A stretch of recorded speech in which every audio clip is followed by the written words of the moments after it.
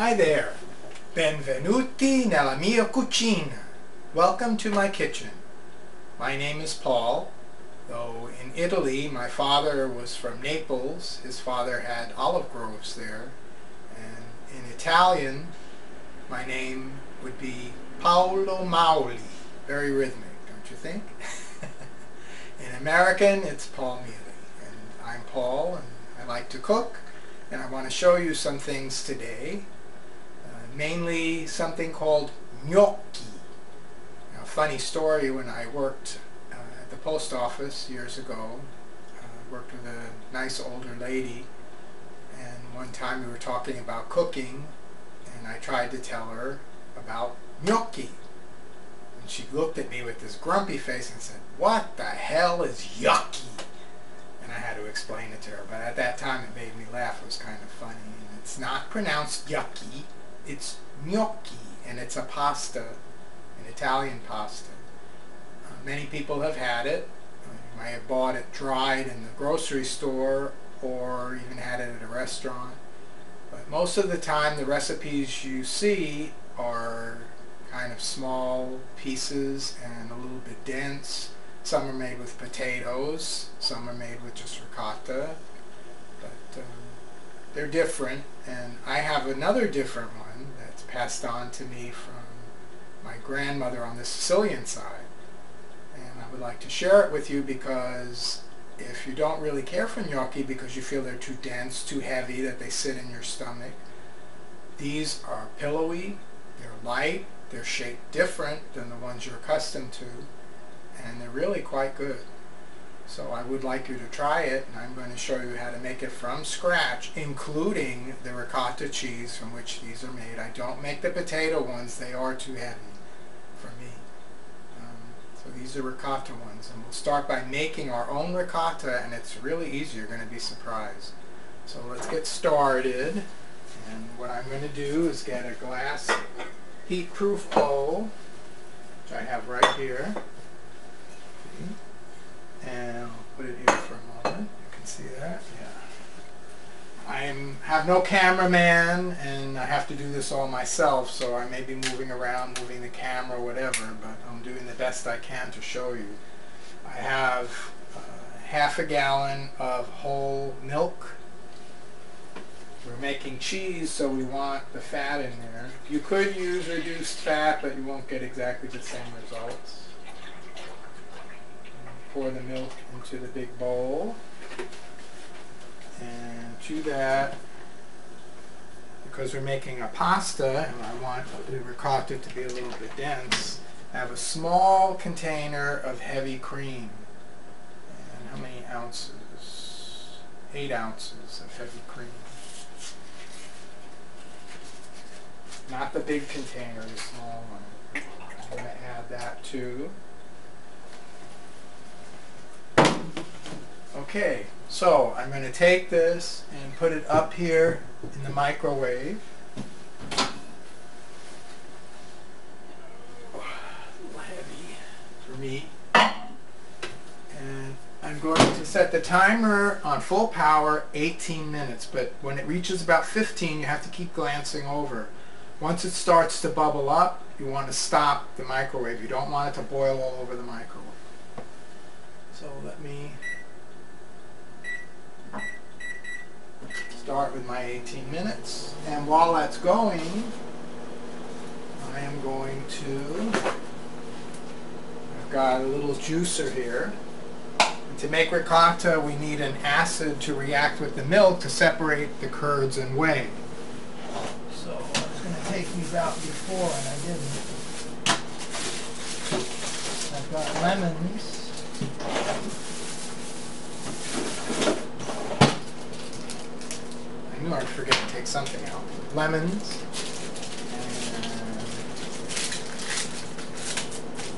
come over here. I'm just taking them out of the bag. I know you can't see it.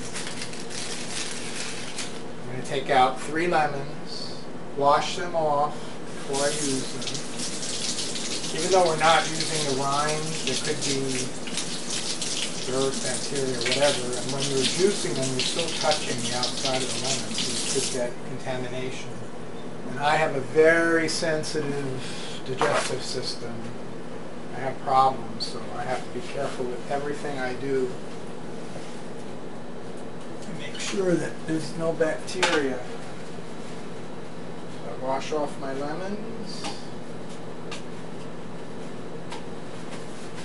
And I- I'm just going to juice the three lemons. Should be enough. Let's see. Might be too much. Just juice those right away.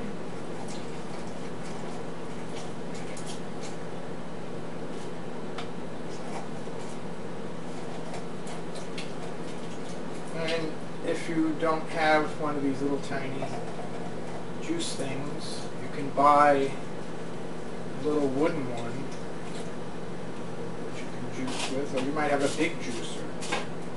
I have a big electric one too, but I don't feel like cleaning. Not just for a few. If I was going to squeeze like a whole bag of oranges, I'd take the electric one. This is just three lemons, not a big deal.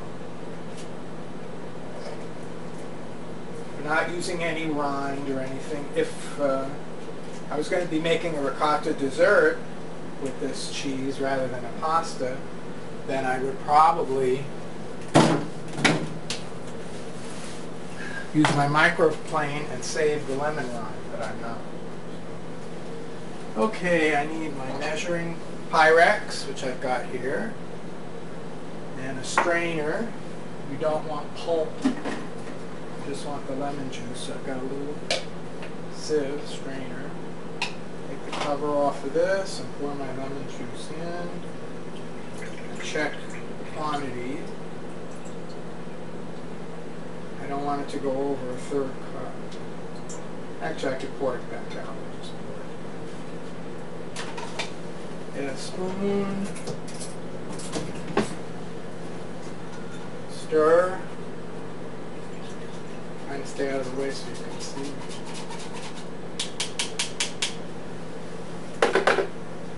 Okay. And just a little below a third of a cup, which is fine because we're going to add something else. Because to that, we're also going to add, now, a lot of, if you look up ricotta recipes to make it at home, they'll usually have either lemon juice or white vinegar. I use both. Mostly lemon, but then also two tablespoons of white vinegar.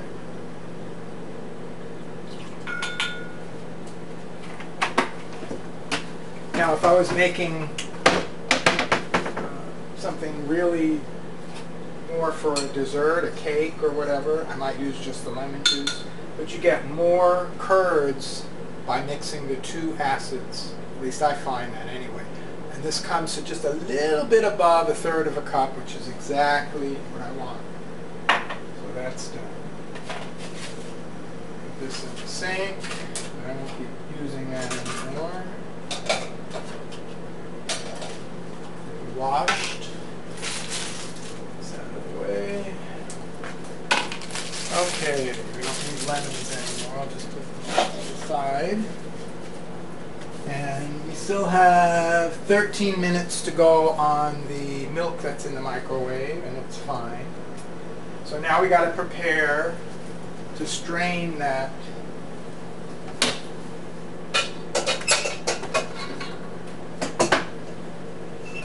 curds away. So I'm going to get a glass bowl.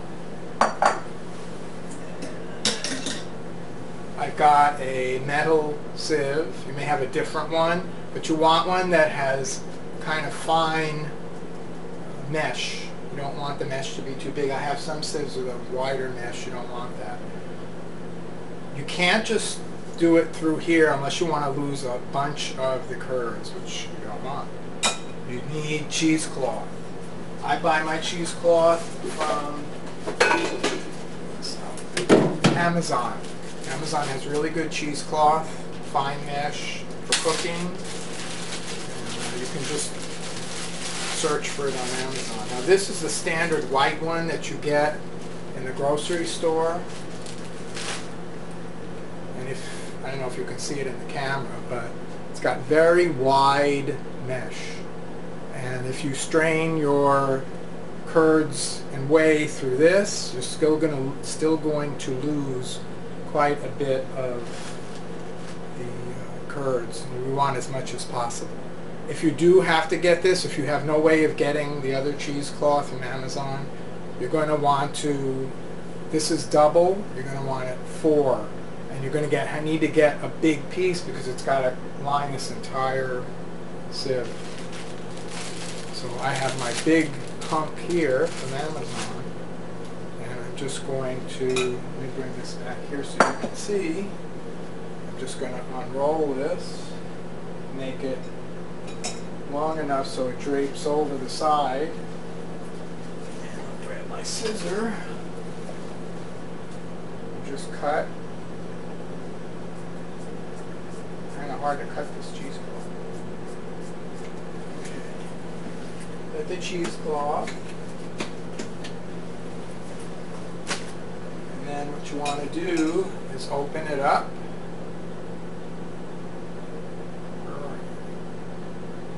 Try not to drop it on the floor, which I do. Sometimes, and if you, I don't know if you can see this, but the, the uh, mesh is finer than that white one. Okay.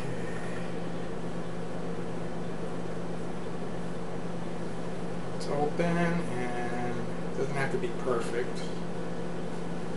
You want to fold it in half so it's doubled, like that, and then line press it in all the way down to the bottom of the sieve. And that's just going to sit here waiting for the milk. Okay. See, this is, I see it says unbleached cheesecloth, 100% cotton, very fine mesh, 28 by 24 weave, lint-free, grade 50. So if you can get that, that's basically what you want. And I keep a lot of it in the house because I make my own ricotta all the time. It's cheaper. If you go to the grocery store, even on sale, the big container, which is what we'll get out of this, of ricotta is usually like at least $5 in my grocery store. Sometimes it'll be on sale for $3.99, but very rarely. The larger one. They have the small and the larger size in the grocery store if you don't want to make your own, if you can't, if you're going to use the grocery store one, you still need to strain it. You don't need the cheesecloth, but at least put it in a sieve and let it drip for a while before you use it because the, the one from the grocery store is really moist and that's not good for the pasta. You'd have to add a lot of extra flour and that'll make it too gummy, so you don't want that. So I would not use the uh, ricotta from the grocery store if you can help it. It's so easy to make, it really is worth it. And it tastes so much better. You'd be shocked at the difference. And you can use it, make it right away, use it for baking. If you want to make cheesecakes, ricotta pastries, I use it for all those things. But for now, we're just going to be doing pasta. So um, we could start on, I'm going to be making tomato sauce and uh, some meatballs But rather than do that, let's do one thing at a time. So I'm going to pause the camera and wait until the milk is ready or until it's ready to add the next step and then we'll start again. Okay, it's 17 minutes and my milk is already bubbling. Going to stop the microwave. And what you want to do, you leave the big bowl in the microwave. Can you see it? Take your lemon vinegar mixture, pour it into the big bowl. No stirring, don't touch it. Close the microwave. Two minutes on high. Just let it go. So since that's a short time, I'll stay with you for now. That I've got the cheesecloth in the sieve there that we did before. And we can start as soon as the ricotta is draining, uh, we have to leave it to cool down before we make the pasta, and we'll start on the meat mixture for the meatballs and then we'll start the tomato sauce. So what we're going to do, we've got some fresh parsley which needs to be washed and I'll show you how I prepare my parsley both to use some in the sauce and in the meatballs as well because I don't like a lot of stems when uh, I use parsley so I'm kind of fussy. takes more time but it works out better for me in the end and I'll show you how to do that. I'll put that here for now.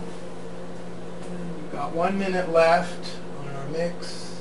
And actually that's still going to sit in the microwave for a while, so I think what I'll do is going to rest for a little bit after we're done. Now I'm watching, you still keep glancing in there. If it starts to boil up a lot, you're going to stop it. 39 seconds. I think it'll make it. No, actually it's really bubbling now, so I'm going to stop. I have 30 seconds left. I'm going to stop it just leave it in there maybe five to ten minutes. Let it just sit. It's really hot anyway so let it sit there.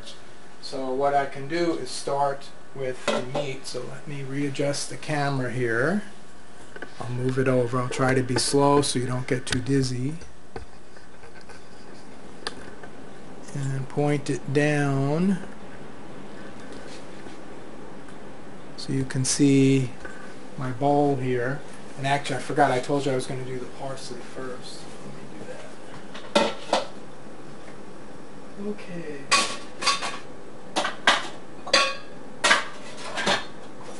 I'm just going to get, I'm using this Pyrex for now, because I don't have another bowl handy. And I'm going to get a sieve, a different sieve. I'm going to take out my parsley.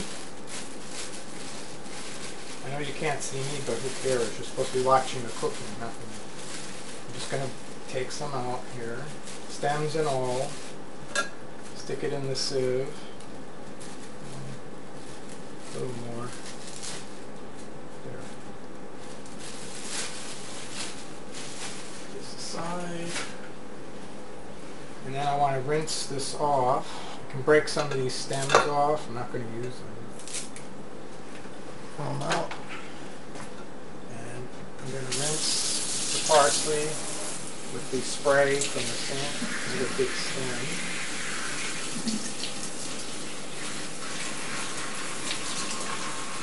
So even if you buy organic parsley, I'm never positive that uh, all there's no insecticide on there, any chemicals, or maybe when it was out in the field, there have been times when I bought parsley from the fields that we have. I'm here in California, and we used to have these nice strawberry fields, and adjacent to them they would grow herbs a lot of times, and they would have fantastic stuff.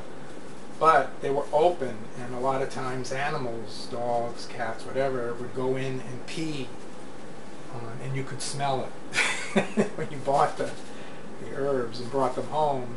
And so they had to be washed really, really well. Okay, here's our parsley rinsed. Now, what you're going to do, to get a paper plate. You're going to take a stem at a time, and you're just going to pick, you just want the leaves. A little bit of stem in between the leaves is okay, but not this big stem thing. You don't want this. Okay?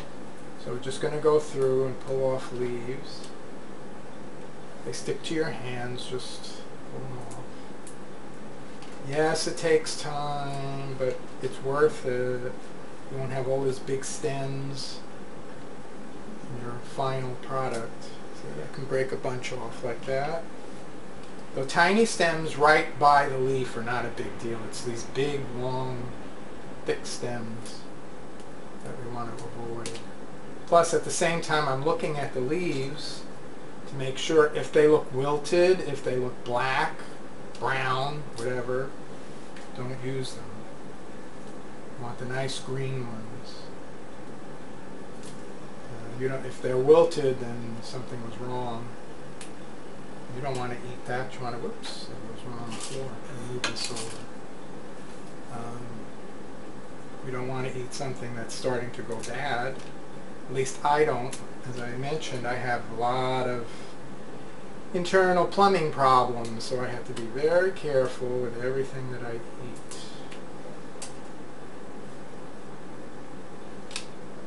And yes, I washed my hands. While I was off camera, I actually washed some of the dishes. See, this leaf isn't good. And I washed my hands. Worry, they're clean. I keep a big thing of Purell over here so I can keep rinsing my hands so I don't get bacteria. Again, I have problems and if I get, where most people, if they get some bacteria in them, really doesn't do anything. It doesn't bother them, just goes through their system. But not me. If I get any of that, I suffer big time. So I have to be more careful than most people are.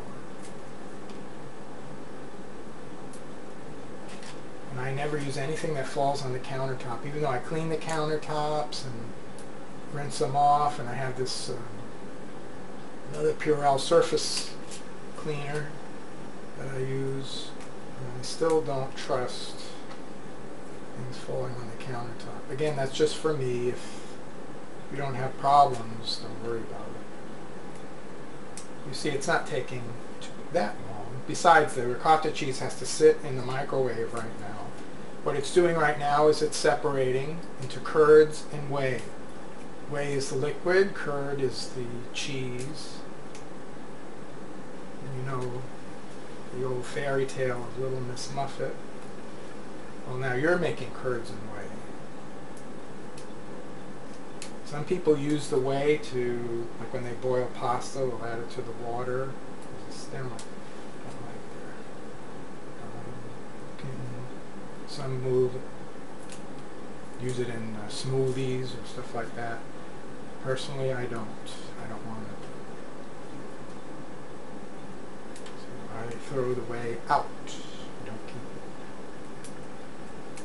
If you're a health nut, you're one of those people that wastes absolutely nothing, go ahead and use it. You'll probably look up things to do with whey.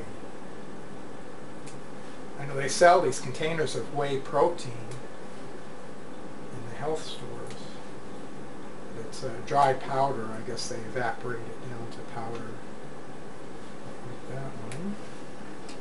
Okay, these don't look so great either. So here we are. Here's my plate of parsley with most of the stems removed. At least the big ones, just some tiny stems. So the parsley is ready, so I'll set it aside for now.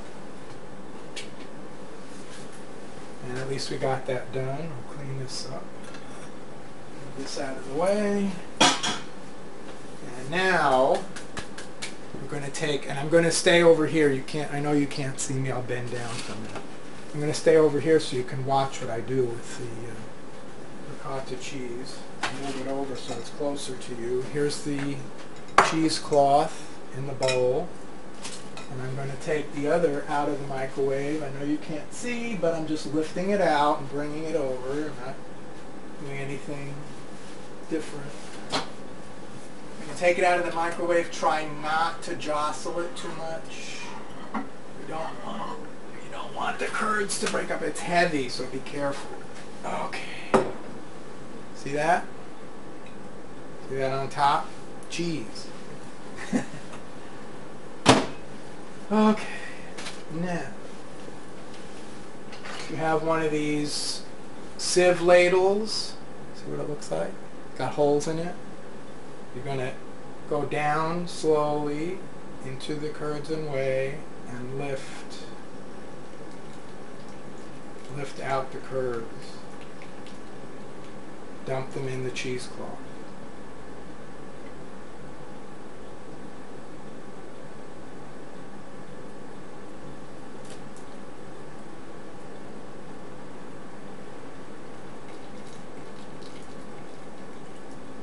So all we're doing is we're separating out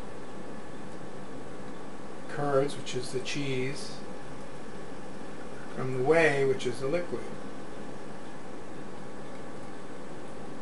Some of the curds will be very tiny pieces, some will be bigger pieces. Um, and that's the reason for the fine cheesecloth because if you use the wide cheesecloth or you just used the sieve by itself, all the finer pieces of the curds would go right through the sieve down into the lower bowl and unless you want to do it all over again you would lose them and that's kind of a waste. So you don't get every single little bit that's impossible because some of it's really really fine. But I'm trying not to jostle it too too much although now it's pretty much down, I'm not going really, really, really fast. Still, now the really smaller pieces are what's left. Before I go any further, I want to check my bowl. This is hot, so you got to be careful. And you can see the liquid in here. See it? That's the whey. I'm throwing it down the sink. Because if it gets too full in there it's going to go back up into the cheesecloth and back up into the curds. And we don't want that. A little bit closer so I don't spill it all over the place. This is all there is to making ricotta cheese now is that hard? no and the difference in the flavor. Now you notice I did not put salt. When it's done, when you're using whatever recipe you're using it in, or even if you're going to eat it the way it is, make a ricotta sandwich or whatever, then add the salt and add it to taste. Don't add the salt before you make it. It will affect the way the curds form. So keep the salt out for now. Now, a lot of uh, chefs that you'll see will, now when it gets down with these just these little tiny pieces, they'll pour this whole thing through there. But that wets all those curds all over again. And I don't want to set up a second bowl with more cheesecloth just to drain this through. So, so long as I've got enough for my recipe, the little, little tiny bits that remain that even go through these holes in the ladle, uh, I don't really care. If you want to take the time to go through this and get every single little bit of the curds out, then go ahead. But I'm not going to do that. You're saving money anyway, like I said in the store, the large container of ricotta is on really good sale, $3.99. Most times I see it for $5.99, $6.99. I don't know about your store. Now if you have an Italian grocery store near you, you can probably get the ricotta from the showcase that they make themselves, and that, of course, would be a lot better. You'd want to buy at least a pound, well, I would say two pounds so you have plenty.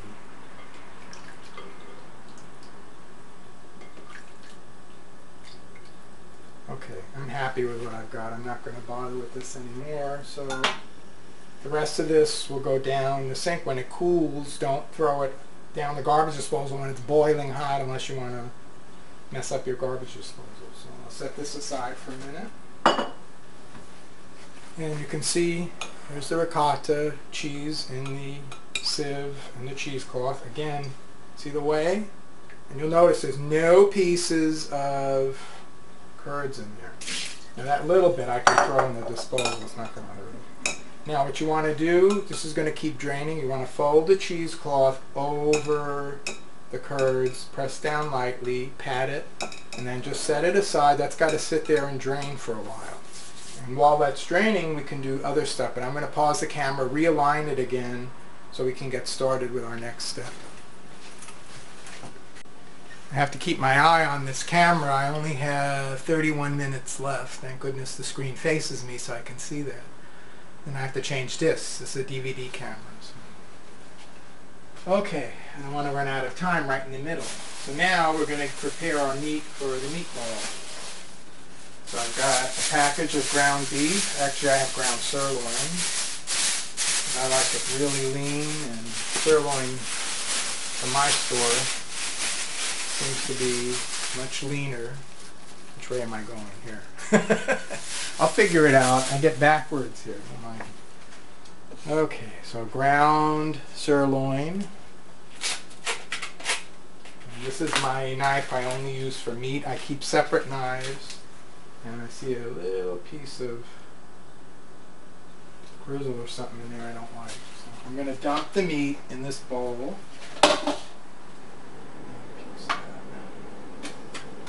You know, when they grind the stuff in the stores, they don't care what they throw in there sometimes. You have to pick stuff out sometimes. Now I have gloves. Fine.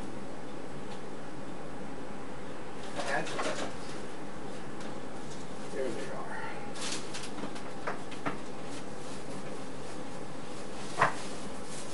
Since handling meat is kind of messy.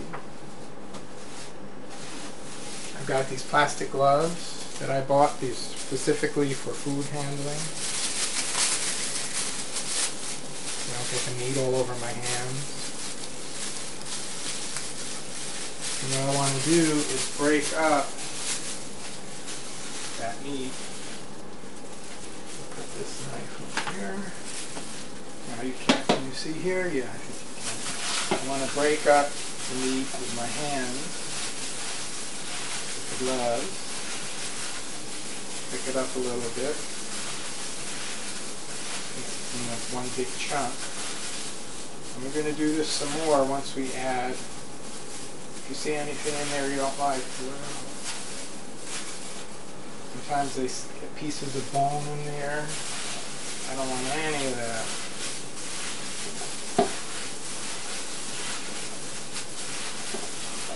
See any grizzle or bone, just pull it out.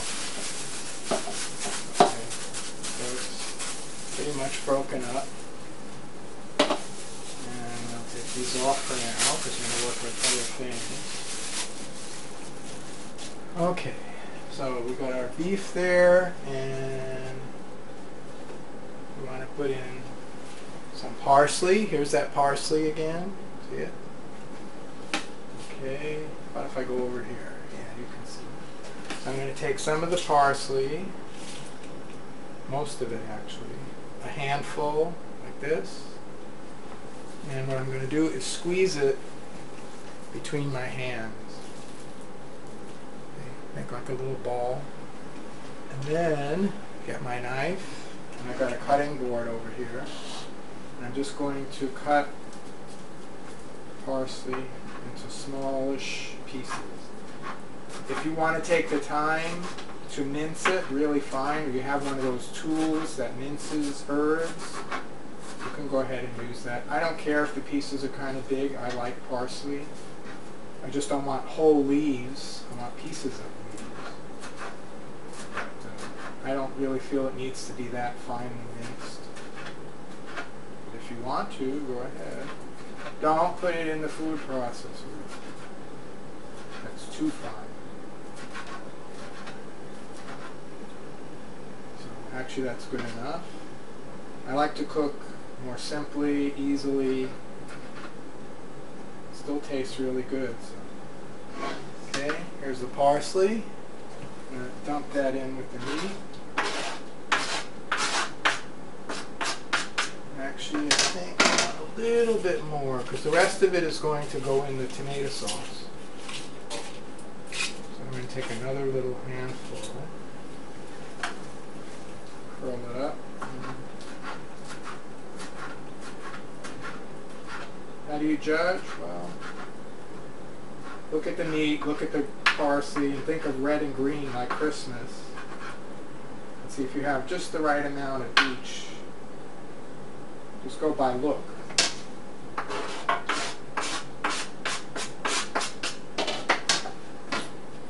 Okay, there's the meat with the parsley there. Not going to mix it yet. Put this other parsley away. Don't need it right now.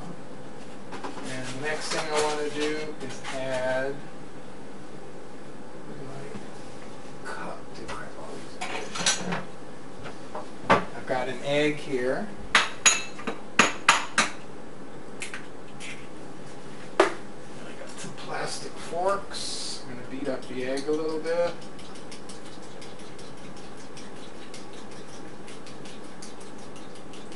Now you remember, of course, that beef comes from a cow. Dump the egg in. I some people put two eggs in their meat. This is one pound of ground beef. Um, I really don't like the taste of egg that much, so I use one. If you love eggs, you can use two, but then you're going to have to add more bread anyway to make up for it. So that's up to you. For me, so remember I said beef comes from cows, so I'm adding milk. Milk comes from cows too. So the combination is not that weird. One tablespoon, that's all. One tablespoon of milk. This is low fat. Doesn't matter for this. And the other thing we need is garlic. All Italians love garlic. So I've got the garlic here and I'm going to move the camera again. I'm going to pause because I need to show you what to do with garlic. Let me pause this and realign. Okay, I've got the camera pointing down at the work surface. So let me flip this around so I can see what I'm doing. There we go. So I know you can see, if I can see. And I've got a whole head of garlic. I'm going to break it into cloves.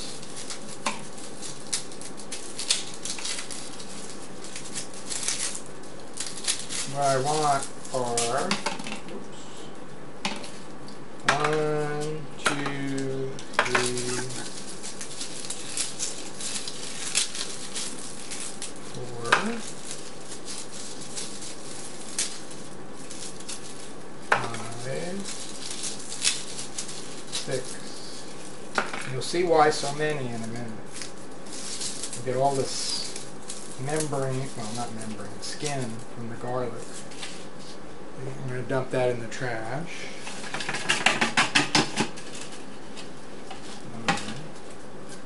Put these back on here. Now what I'm going to do, again I have a knife that I use just for garlic. I'm going to take the cloves, I'm going to cut the tip off on one side, the end off on the other side, and then I'm just going to use the knife to get that skin off.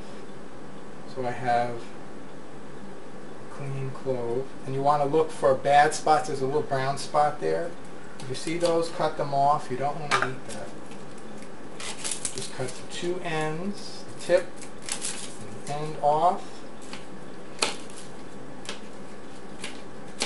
And just use the knife to get skin off. There's your clove.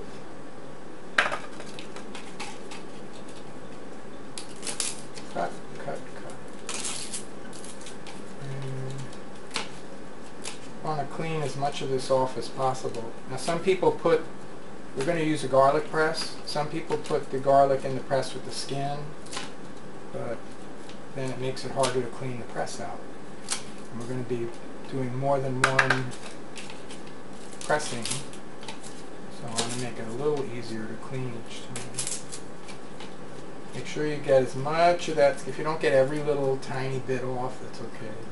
And any brown spots, just cut them off. I used to grow garlic when I had a house. I had a wonderful garden. And um, I used to read up on stuff.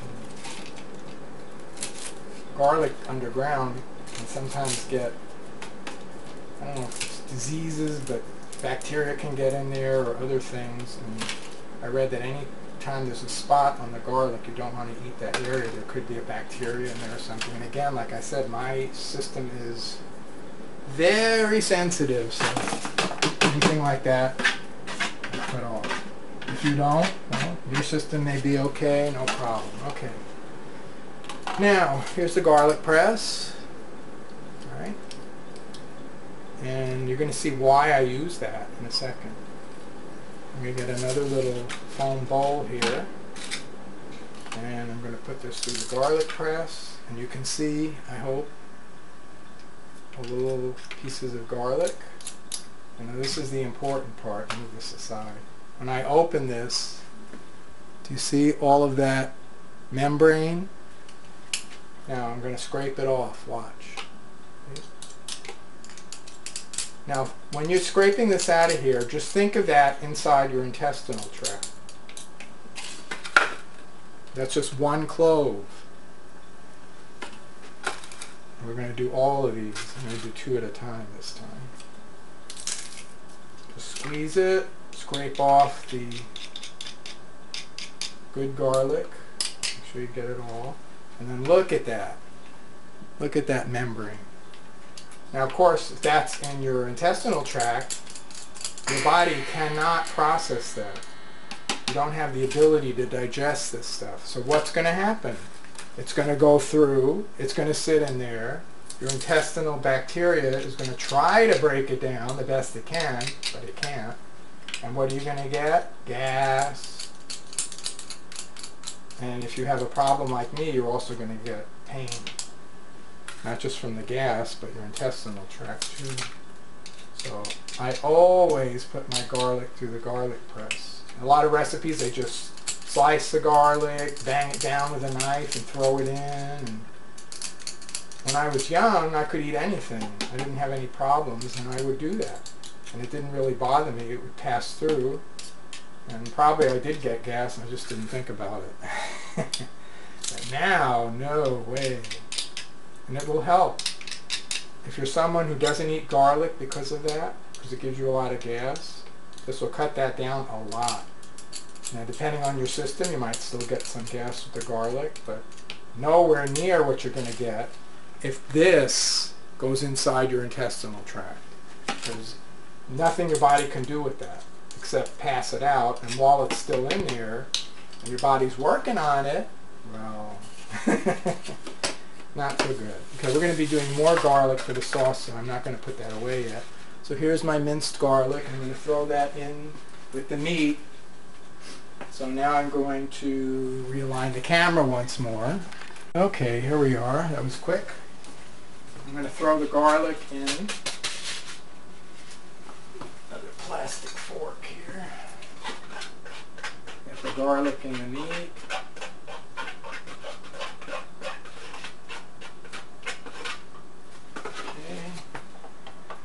Save that because we're going to use it again. So we've got our garlic, our parsley, and we need some herbs.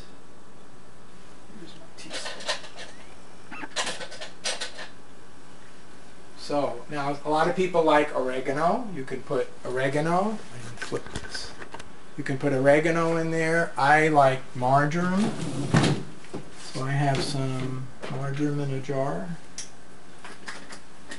And I'm just going to put not a whole lot.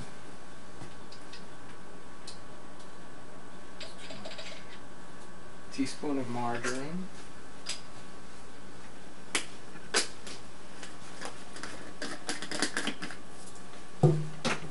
And I have this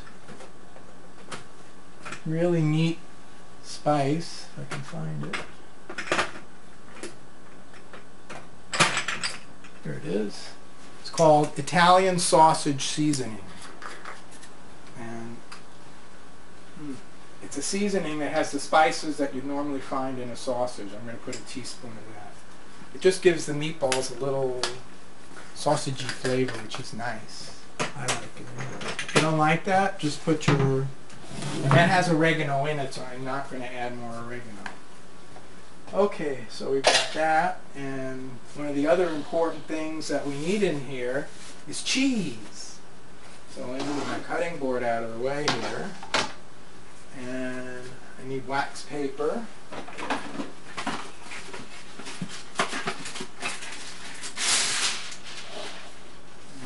Meat out of the way too for a minute.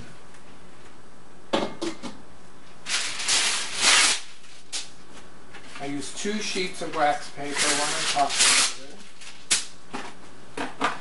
I have my box grater. This is the box grater.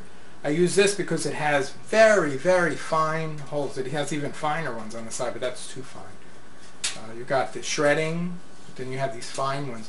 Normal, the hand graters, I have one of those too. Um, it grates the cheese more in strips. This makes it like a powder, and it's better for something like the meatballs to mix in with the meat more efficiently. Now I've got a great big hunk of Pecorino Romano. Pecorino Romano is a cheese made in Italy from sheep's milk. It's pungent, but it's delicious. It's a wonderful cheese. If you don't like it, just use Parmesan. But I like to mix part of each. So I'm going to grate some of my Pecorino. You can see I have a big hunk because I use a lot of pecorino. Be careful when you grate that you don't get your hands on that grater. This is a brand new piece, so it's kind of hard to start it. Once you get it started, it's not so bad. It's great, great, great, great. I don't know if you, you can't really can't see me. I'm just going up and down. Don't press hard. Let the grater do the work. If you press hard, the cheese may get stuck, may slip, and you'll cut your hand. So just grate it gently over those graters. The graters will do the work.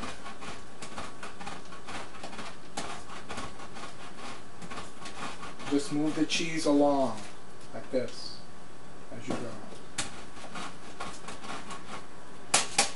Bang it on the grater to get off the excess. Okay, set this aside for a second. And you can see what I've got. I would say that's about half a cup. You don't have to measure. Dump that in the meat. Meat's over there on the side for a second. I'll show it to you in a minute. And now, that's the Pecorino Romano. You can use just regular Romano too, that they have in the grocery store. But the Pecorino has a great Italian taste. I think if you try it, you'll like it.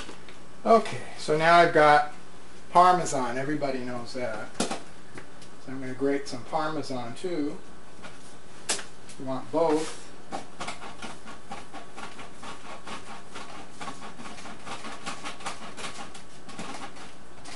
I don't think you have to see me grate. I think you know how to do that. If all you have is one of those hand-held small little grate things, go ahead and use it. If you don't have one of these box graters, uh, you'll just get the shreds of cheese instead.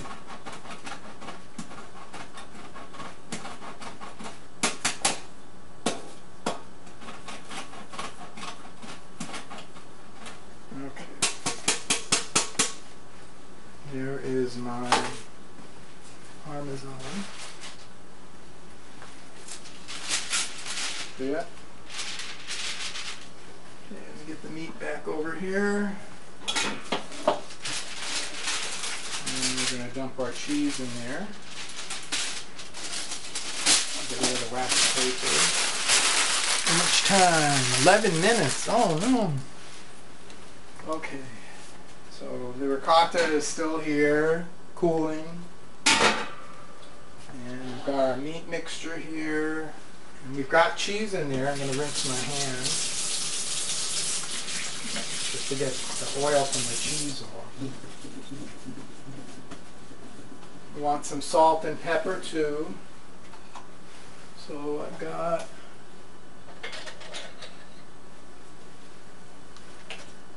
salt. I know cheese has salt, but you still need salt. Teaspoon of salt.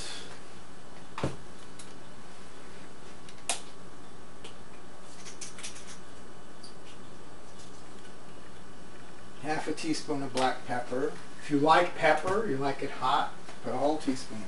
But I think that's too much. Okay, so we got our, our eggs, our cheese, the meat, the parsley, the herbs, and ready now to mix again. So I'm going to grab, and the garlic, I think I mentioned. Okay, more gloves. I just don't like getting that meat all over my hands. And once we mix this, then it's going to go in the fridge for a while anyway. Okay, see it? Just going to mix with my hands. Water your hands because there's no way any utensils are going to mix this as evenly and as well as your hands. As you're mixing this, you're going to smell the wonderful smell of the parmesan, the pecorino, garlic. It really is, and the parsley too, actually. A wonderful smell. I love pecorino romano. My favorite cheese. And now, of course, you know that meatballs have breadcrumbs. So we have to add some breadcrumbs, but I'm only going to add some.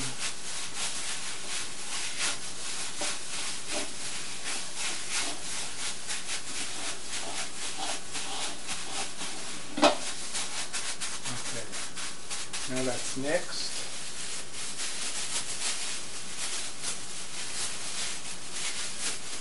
You don't need too many breadcrumbs in there. It's you can feel it's pretty dry we do it. So I've got some plain. We already add spices, so we're just going to use plain breadcrumbs. I said, it's not too much. I'm adding a third of a cup breadcrumbs. That's all.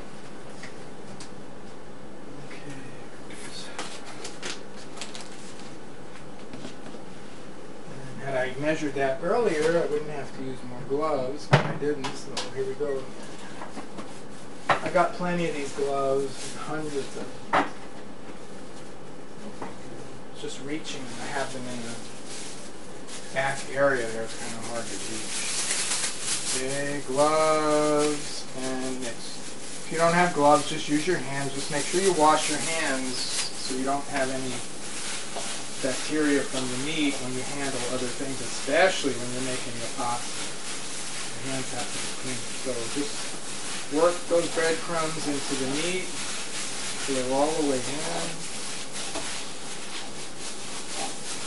If you use too many breadcrumbs, your meatballs will be hard, really hard when you cook them. breadcrumbs will absorb any moisture in there, and then when you fry up meat with that bread, pretty hard. Tender these are. There's not that many ingredients. It's really not that hard to do this. I'll show you. There's our meat. You can see the bits of parsley in there. Everything's incorporated in there. So what I'm going to do, I've got food storage bags. Whatever plastic bag you have is fine. And I'm just going to put that meat in here. Only because I don't have room in the fridge for that big bowl. You could stick the whole bowl in there, but I'm going to put this in there. Stick it in the refrigerator for now. Let it sit. So all those dried herbs fully reconstitute and everything keeps blending together. And then I'm going to pause the camera. I've got to change discs because I've only got five minutes left. And then we will continue with the next step. I'll clean up a little bit and we'll continue making the tomato sauce. Okay, I've changed discs in the camera and what I did is I took the cheesecloth with the cheese ricotta curds in it, put it in a little bowl. I'm putting that in the refrigerator along with the meat that we just put in. So they're both chilling while we go on and do the next step, which is we're going to make our tomato sauce. I've got a large pot. Not that we're going to fill it up, but at least it allows room for splashing. And you don't have to worry if we put too much tomato in it or whatever. There's plenty of space. So I could use a smaller pot, but I like using the big one. You don't have to worry about it. We're going to need an onion, Get here. I already pressed, well, I, right after I changed the disc, rather than doing this on screen, because you saw me already, I put four more cloves of garlic through the garlic press. So they're ready. And let me get my onion ready. And I have a knife I use specifically for onion. I keep my knife separated because sometimes the smell tends to linger on the knife. Plus, certain knives do better jobs on certain things. This one does a great job with onion, so I keep it for onion. So I got my onion skin off. I'm going to dump it in the trash. Okay. So there's the onion. Now, there's all different kinds of tomato sauce. Different sections of Italy, different people make it different ways.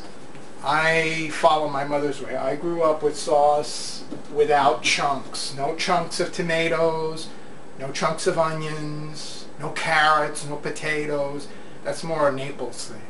My Sicilian mother made tomato sauce smooth, and that's how I've learned to like it. So I am not going to cut up the onion. We're going to use it like this to flavor the sauce, but not to actually be in the sauce when we eat it. If you like onion, you can mince your onion or slice it, whatever you like, and put it in the sauce and you'll get lots of onion when you eat the sauce. Personally, I don't want that. Especially with this recipe with gnocchi.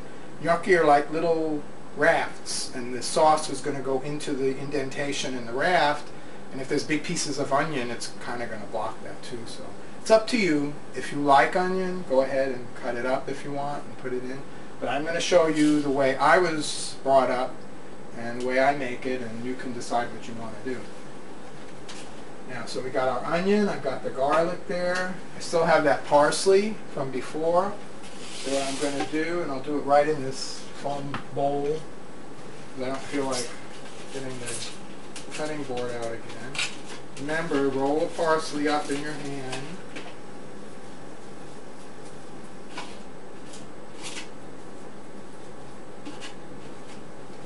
Roll it into a ball in your hand. Squeeze it together and slice. And watch your hand. Don't cut your finger.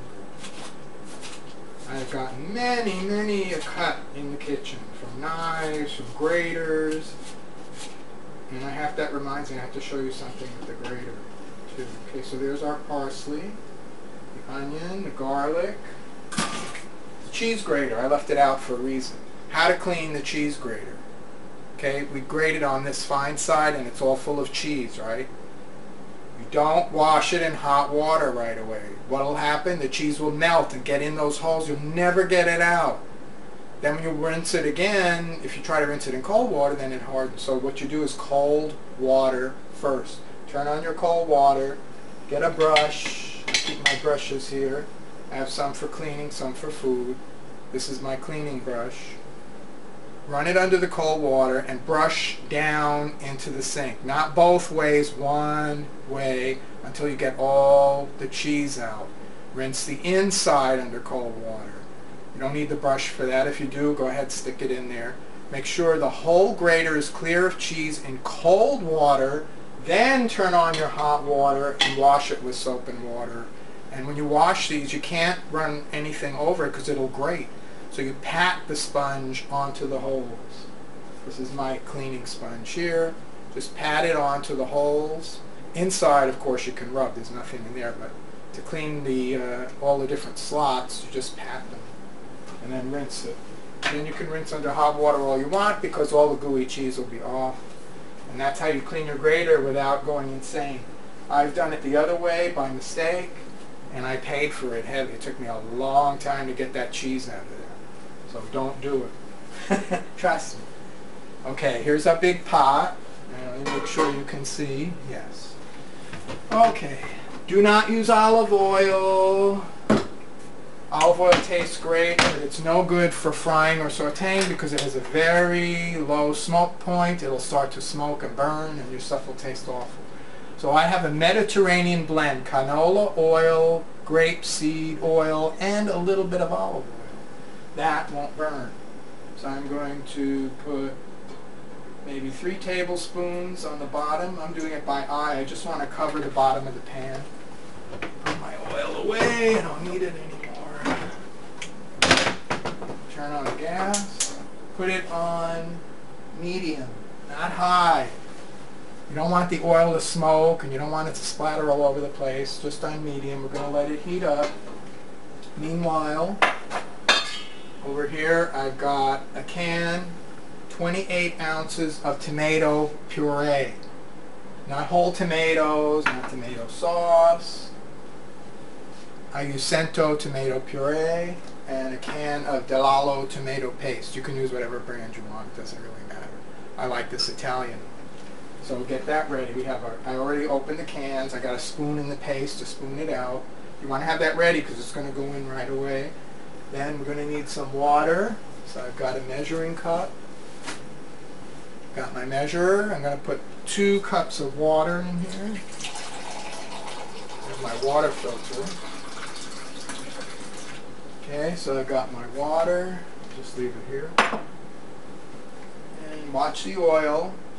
It should heat up pretty quick.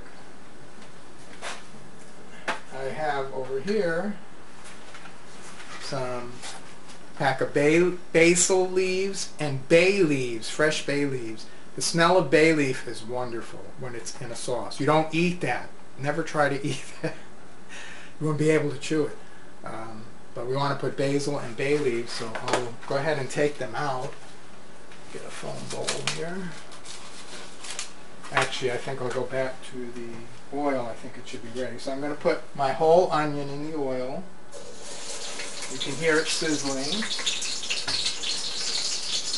And I'm going to get some wooden utensils so I can flip the onion around. We just want it a light brown on each side, which will go really fast. Now, the garlic, again, it's through the press, so it's very fine. That'll burn so fast you won't believe it.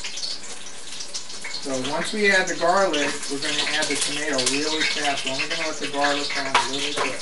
And this pops, so stand back. I'm going to lower the gas a little more.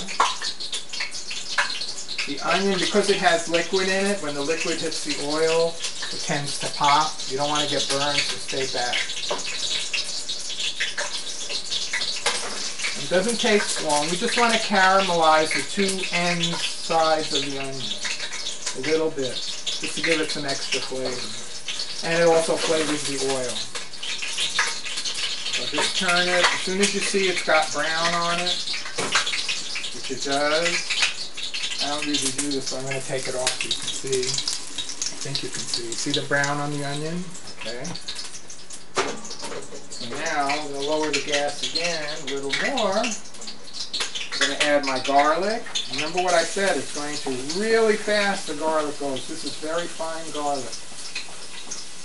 The garlic's in there. Stir it, smells wonderful. Enjoy the smell. And next thing is the paste. And that's it. Five seconds for the garlic. Throw in the paste. Garlic browns that fast. It's only little tiny pieces that went through the garlic press. If you wait longer than that, it will start to burn. And you have to throw everything out. Don't ever try to eat garlic that's over browned or burned. It tastes disgusting. So that's the paste. And what you want to do is stir the paste into that oil. Just have the onion slide around in it too. Stir it in. Now I can turn the gas up a little bit from medium to medium high. Just try to break up the tomato paste in the oil. Let me do it this way so you can see. Just chop at it, stir it, just get it broken up a little bit. It's not going to completely dissolve, it's fine. And we're also heating it up a little. It's going to mix with the tomato puree anyway, so don't worry I want it to heat up a bit and some of the oil to incorporate into the paste.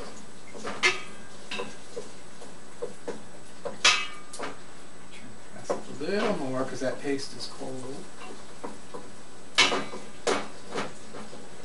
Okay, when it's incorporated, the oil starts bubbling again. In goes the tomato puree. Slowly.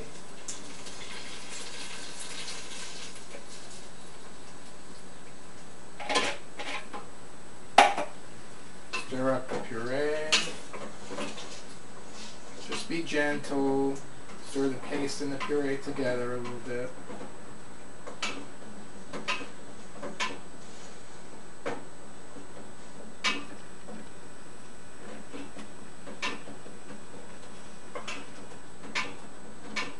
You see it's very thick. But we are going to add our water. There's the two cups of water. Add your two cups of water. As you add it, stir.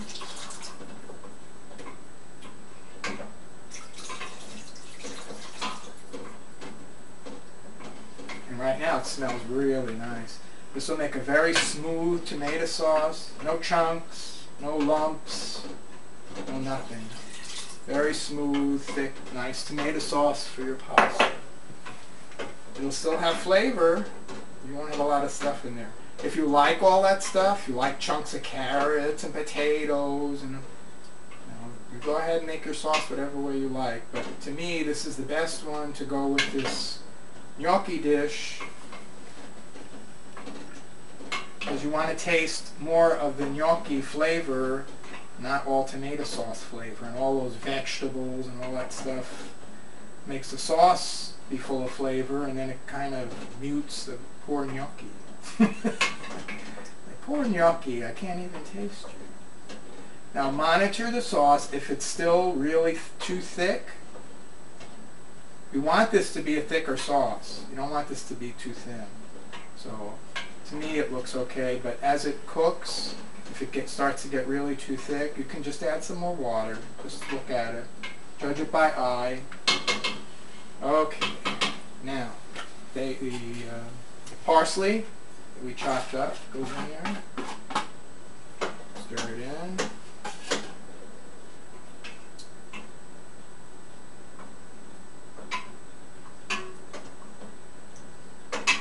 And we're going to add some other seasonings. We've got to put salt, of course. I can't live without salt. I don't care what any doctor says, I want my salt. I got one and a half teaspoons of salt. And.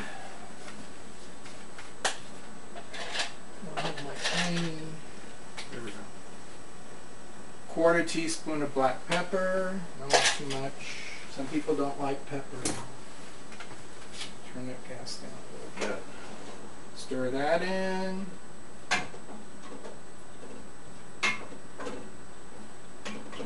Smells good already.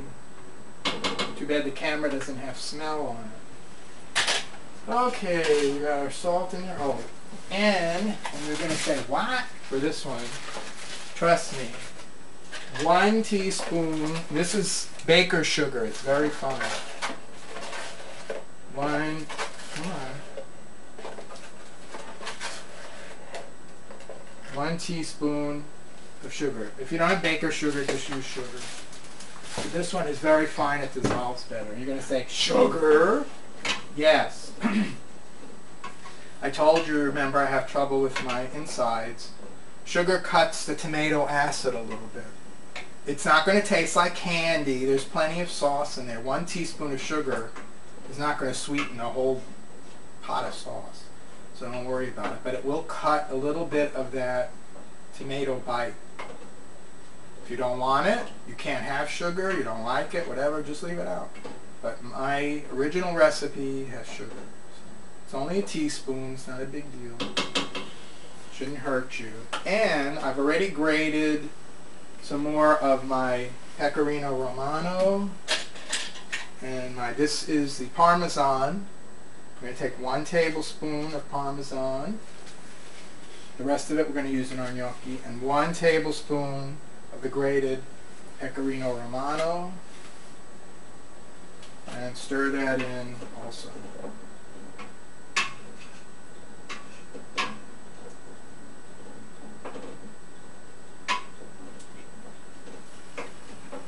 Stir, stir. Just let the onion rock around in there, roll around. It actually helps to stir the sauce. Push the onion around to help stir. It looks really nice, very rich. Okay. So now, we're going to turn on the back burner. Put it low to simmer. Move this to the back. Turn that off. And we want this to simmer at least 15 minutes. Now again, a lot of people with other recipes, turn it up a little bit higher, for tomato sauce, will cook their sauce for an hour, um, hour and a half, two hours. I don't want that. When you overcook sauce, to me, it gets really acid, and um, I don't like the taste. And besides, don't you eat raw tomatoes in sandwiches? Do you cook the tomatoes for an hour? No. So there's nothing wrong with cooking the sauce a little bit. Now if you're using fresh tomatoes, that's a whole different story. I could do another video on that. Those do have to boil for a very long time. Actually, they cook twice. You boil them once, you put them through a Foley mill, and then again they cook with the seasonings. So that's different. Then you are going to cook them time. But for something like this with tomato puree and paste, 15 minutes, 20 minutes, that's all you need. And it's fine. Taste it, you'll see. You won't need to cook it longer than that. It's ridiculous to cook tomatoes that long. It's not necessary. You get all the flavor in 15 to 20 minutes. And why you, you don't want to spend all that time anyway, I'm sure, waiting for tomatoes.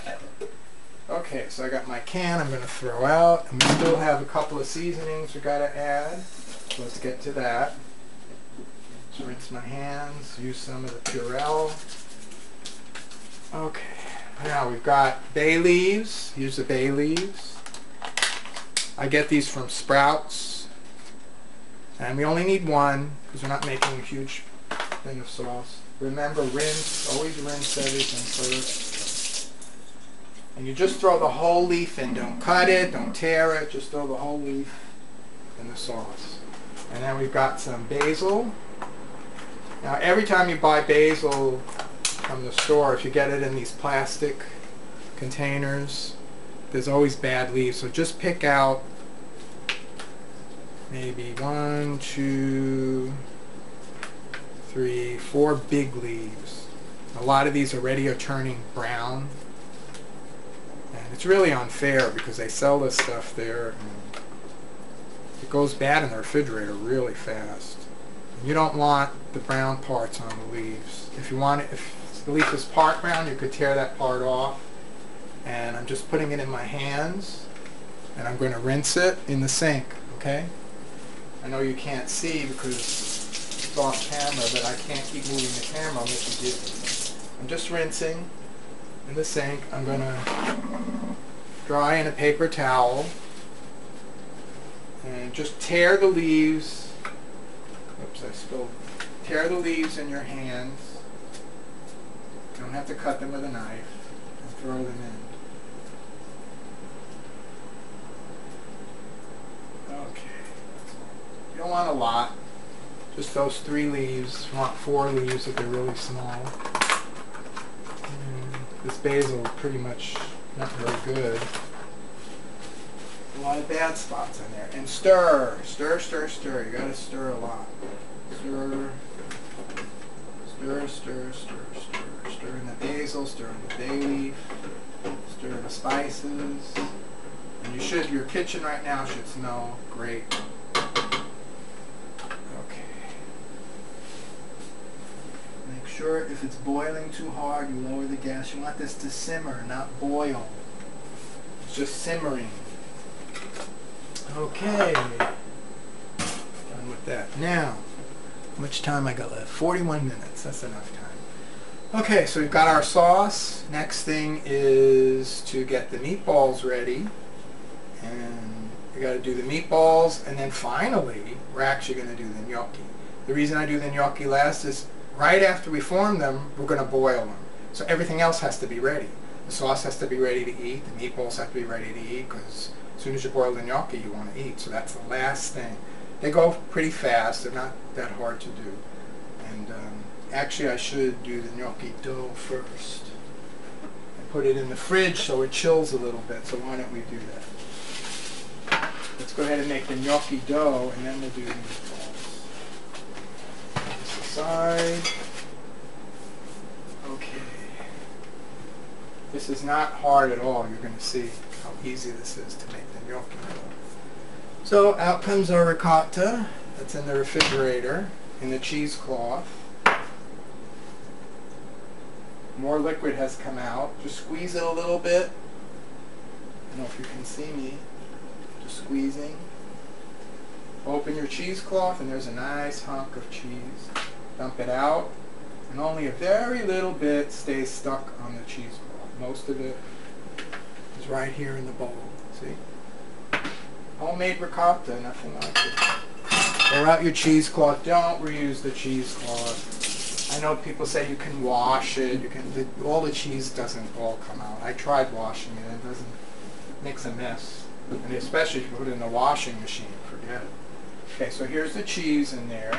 To that, going to add the egg. There it is. Okay, got an egg here. One egg. Then one egg yolk. So I'm going to just do this in the shell. See what I'm, oh you can't see. I'm going back and forth with the shell of the egg. See, like this. I'm dumping the yolk back and forth in the shell to get rid of the whites which went down in a bowl I have in the center. You should know how to do that. I don't think I have to show you. So one egg, one egg yolk. Beat them up. Keep going the wrong way on the camera so I'm off instead of in. Mix your eggs, throw them in the ricotta cheese. Might need more eggs, we'll see. It depends how this turns out. I've got a ceramic fork I like to use so you don't get any metal taste. Stir the eggs into the ricotta cheese.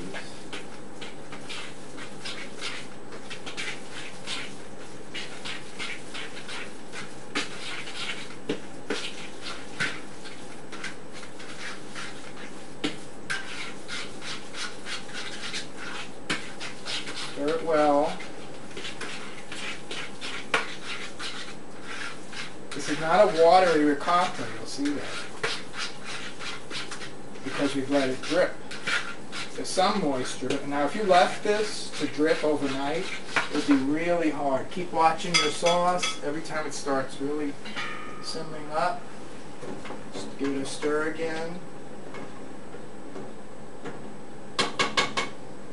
Okay. Just make sure it simmers, it doesn't boil. Stir, stir, stir, stir. Okay, now we need some salt. Not too much because we're going to put cheese in there. I'm just going to put a half teaspoon of salt.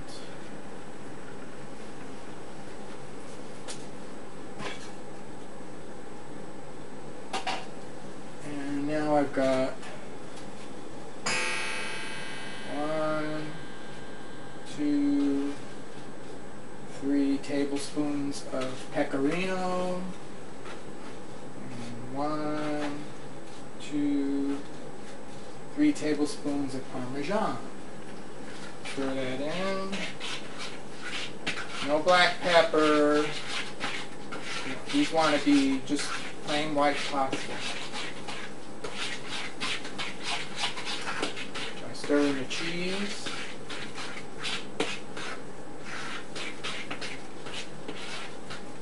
The only other ingredient now is flour, believe it or not. So here I've got flour. Okay, making sure you can see. Get my measuring cup. And we have to do this by feel. So we're going to start with one cup flour.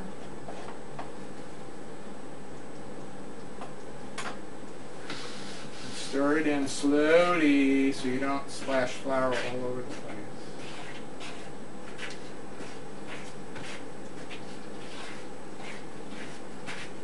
Yes, it looks really thick. It's okay. You want to incorporate all that flour. And I, this one cup may be enough. I'll find out in a minute. Get the flour incorporated. We're not using a mixer, so you gotta stir it around yourself. I may need more. Once it actually starts getting absorbed into the ricotta, that's when you see if you need more flour. And you see how sticky it is. You know. This looks like it's still pretty sticky, but to find out, I'm going to clean my hands. Got my Purell. I'm going to touch it, pick it up, still sticky. So now I'm going to go half half a cup by eye. And mix that in. Know, a lot of, most times I've done this, if I use the ricotta from the grocery store, you'll usually use two cups, period. But with the homemade one, it varies. It depends how much it dripped, how dry it got. So you have to just add some at a time, just until it's just right. And you'll know by the feel of the dough, which I'll show you.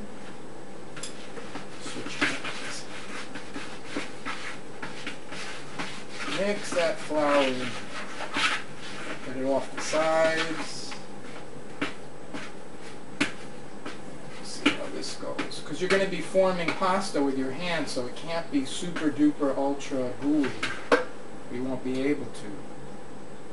And this is still a little bit sticky, so I guess it's going to end up being two cups.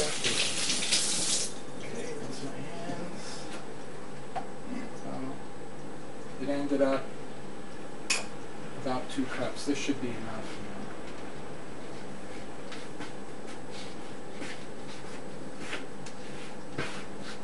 Stir it in, stir it in.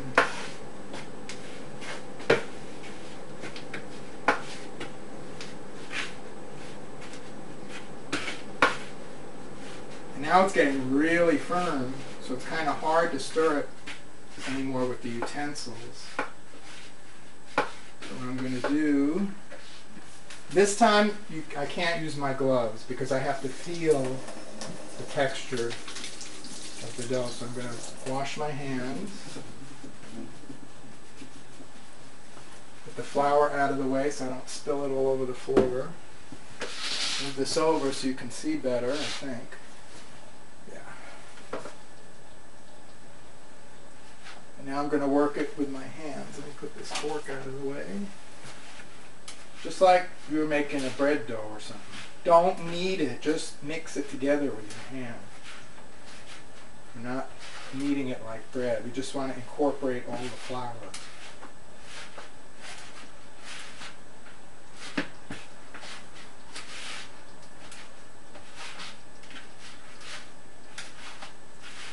That's all there is to this pasta. It's just ricotta cheese, egg, flour, and the salt. And of course, pecorino and parmesan. Very important. Now this feels pretty good. It'll still be a little bit tacky, but when we work on it, we're going to add some more flour, and that'll be fine.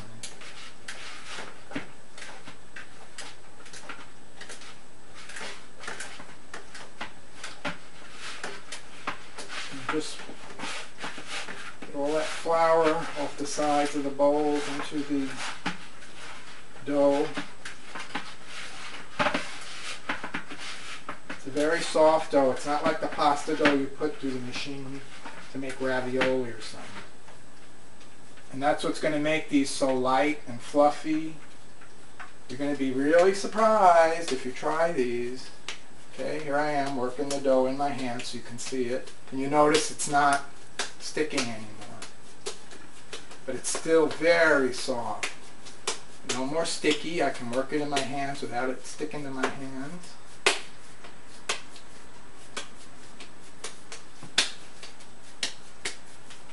Doesn't have to be smooth. We're only making pasta out of it. And again, not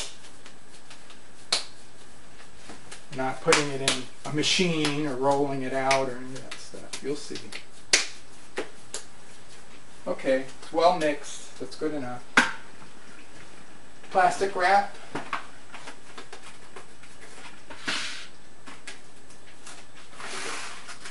Nice good piece of plastic wrap. There. And this is going to go into the refrigerator to chill. It's going to make it a lot easier to handle too. Put this in the fridge while we do the meat. Okay. And the sauce simmering away. I'm going to stir.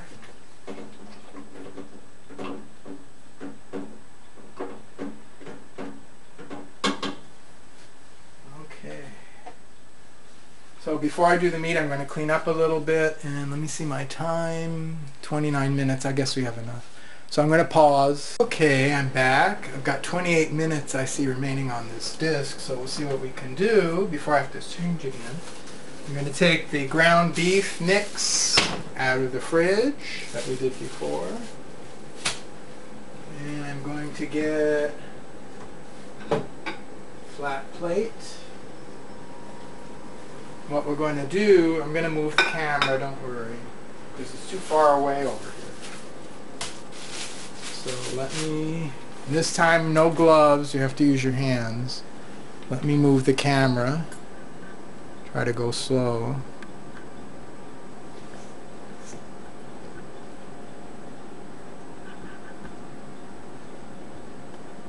So you can see the dish. There we go. There's the meat. Okay, Purell. Make sure my hands are clean. Now we're going to do our meatballs. So,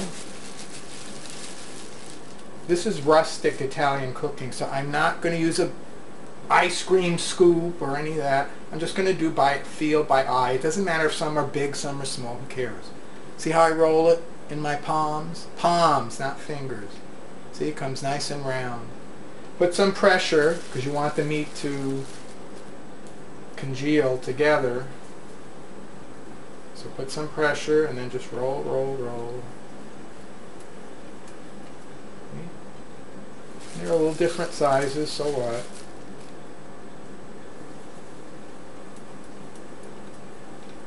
They're pretty close. Roll. They smell really good. I know people eat steak tartare, it's called, I believe, which is raw ground beef. Well, when you smell this, as you're rolling these, you'll feel like eating it. Just from the smell, you're going to feel like eating these raw. They smell really good.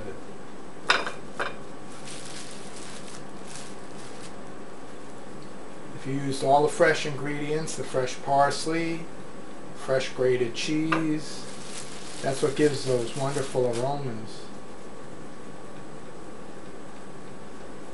If you use the box stuff, you know, they sell that cheese in a box, the Kraft, and other companies. And that stuff has really no taste. It's just like adding salt, basically. It really has no cheese taste at all. When you freshly grate pecorino and parmesan, wow, what a difference. And of course, I love pecorino so much, I can eat a piece of pecorino. You can't eat too much of that, it's salty. But, uh, and it's very uh, sharp. But still good. I like it. And the real one is made from sheep's milk, though it's hard to find anymore. Most of the time, it's cow milk now. I was very disappointed because one of the companies my mother used to get was called Locatelli, Pecorino Romano. And when I went to check online, I found out that Locatelli, the traders, no longer use sheep's milk, they use cow milk. They're not really traders. Actually, sheep milk is very hard to come by. You don't get that much milk from the sheep. And, um, they use it for a lot of different things, so I can understand that it's hard to get that, so they can't keep making tons and tons of Pecorino Romano with sheep's milk because there just isn't enough. So they had to resort to cow's milk. It still tastes good, but there's no comparison to the sheep milk. That one really tastes good. Believe it or not, sheep's milk is easier to digest than cow's milk.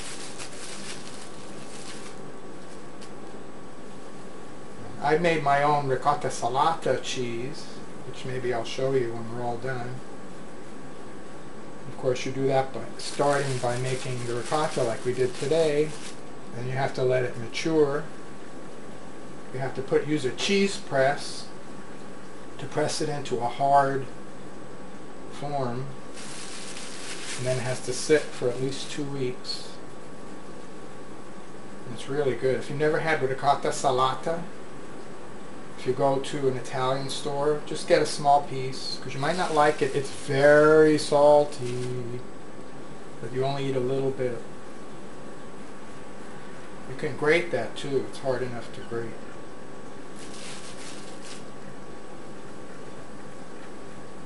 But I like it. My mom always loved that. Ricotta salata. Every time we went to Italian grocery store, she had to have a piece of ricotta salata. I liked it too. She ate more of it than I did. and you see our meatballs are forming. Almost done, almost done.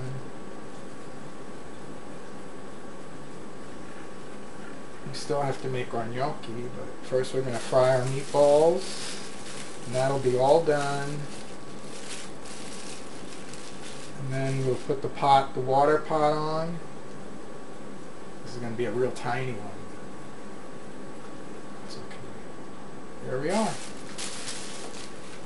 How do they look? Here's the meatballs. Pretty good?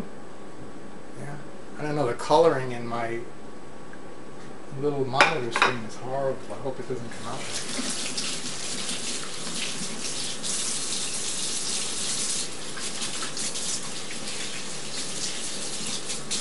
these look beautiful. They're really red and nice. I don't know if you can see that. Or not. Okay. Now uh, more Purell, as I've been handling meat. Stir the sauce. Stir, stir. You can't see me, I'm just stirring. Okay. Let me pause, and move the camera, we're going to start frying. Okay, here I am. And I've just put the big frying pan out here. Make sure it's clean. Okay. And the stove, unfortunately, this big burner doesn't work very good, so I have to light it by hand. We want little, say medium high. I don't want them to cook too, too fast. I don't want the outside to burn. And in there we're going to put the end of my mixed oil. So I have canola oil. I have to buy some more. No olive oil. Want at least a half inch of oil. Let's do it by eye. Why no olive oil? Because it will burn. Trust me, it will burn. Before the meatballs are cooked, the olive oil will be burned. So here's our meatballs, okay? I'm going to put them over here next to the pan. And I've got uh, another plate with paper towels. I want to drain the grease. I'm going to set that over there. I'm going to drop some parsley on the floor so pick that up from before. Okay, we need our oil to heat, so we got to wait a while. And stir a little more. Stir, stir, stir, stir. And as soon as the meatballs are cooked, finally, we're going to actually make the pasta, the gnocchi. But at that time, we're going to put the pot on with the water to boil. I'll just leave this here. Um, and while the water is heating up, getting ready to boil, that's when we'll make the gnocchi. It'll take a little while, but it's not that bad. By the time the gnocchi are ready to boil, the water should be boiling, we can throw them in. 20 minutes later, they're done, and that's it. Meatballs will be cooked, the sauce is done, just got to serve it up. It's not that bad. Uh, it's, it is kind of, a, you need at least half a day, I would say, to prepare all this between getting everything ready, mixing it together, forming the meatballs, cooking them, and all that stuff. So at least half a day. If you have a whole day, that's even better. You know, start preparing in the late morning, and by nighttime it should be all done. Okay. I don't think this is hot enough yet.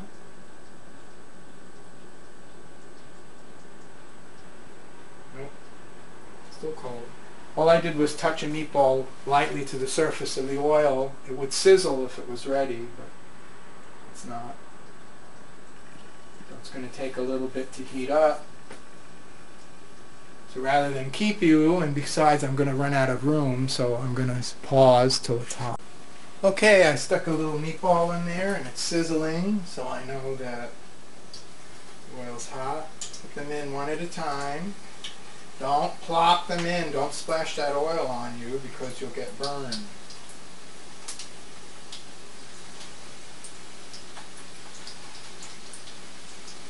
Oil is a nasty burn. I've had it, believe me. If you do get burned with oil, get out some butter or margarine and rub it on the burn right away and leave it on. Don't wash it off. Leave it on for quite a while. That should help. It's helped me. And then you can rinse it off with cold water later after it's on for a while. And it should help, if possible, not to form a blister. Okay, meatballs are in the oil. And I want a fork and a spoon. I'm going to time this two minutes. Meat looks really good, smells nice. Now also something my mother used to do, which I don't because oil bothers me now. Um, she would take some of the oil that's left in this pan after the meatballs fry because there's all that flavor from the meat. And you can do this. Just scoop out some with the spoon with the brown from the meat and put it in your sauce. But I can't because I can't digest that. It would bother me. So if you think it's going to bother you, don't do it. Um, if it's not going to bother you, just take some. Don't pour it all. There's a lot of oil in here, whatever you do. You pour that all in your sauce, it's ruined. Just a little bit. Use a spoon. Scoop some out and put it in. Maybe three spoons or something. It would just give it a little bit of flavor. There's way too much oil to put all that oil in your sauce. Instead of tomato sauce, you'll have oil. oil sauce. And it would taste awful. So you got to be patient. Just got to wait, wait, wait, wait. I'm not the most patient person either, believe it or not. you might say, well, all that stuff you've been doing, aren't you patient? No. The interesting, when uh, my dad came to America, his father came over wanted to Americanize his name because the teachers in school had trouble pronouncing it, and that's where, when, in the beginning, I told you my Italian name is Paolo Mauli. But uh, the way it's spelled, the American teachers just didn't know how to pronounce it, so they changed it to the Americanized Mealie. But my real name is Mauli. I mean, my my dad's ancestral name. Of course, my legal name. Okay. Two minutes, so we're going to flip the meatballs over.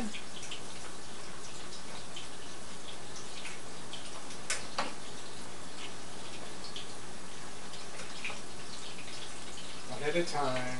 Flip, flip.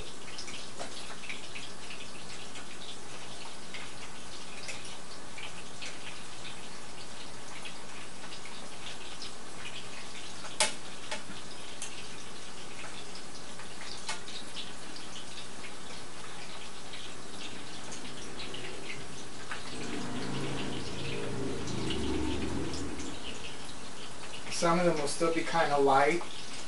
That's okay because we'll flip them again. Oops, I missed a couple.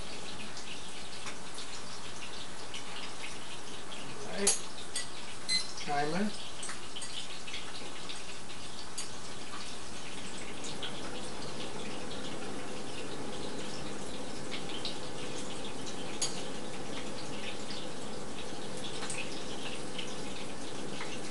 And while I'm waiting, let me stir the sauce. It's important to stir the sauce every so often because it'll start separating a little bit. Oils and everything in there. You keep stirring it, you get a really smooth, nice sauce.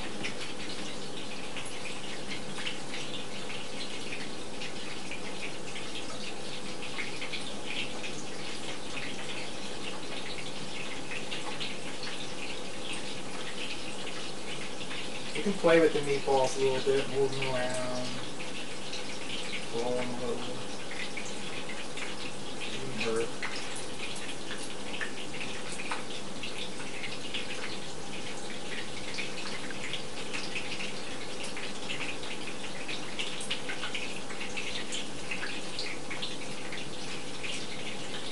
Now you'll see a little cracks in some of the meatballs the cheese that we put in here, the pecorino romano and the parmigiano, of course, is melting in that meat. Can cause a little bit of cracking, but it has nothing to do with when you eat it, so don't worry about it.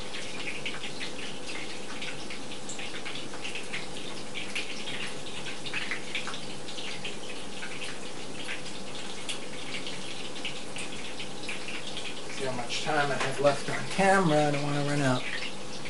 11 minutes. Sorry, it's sticking in my face. I can't see so good. It's hard to see.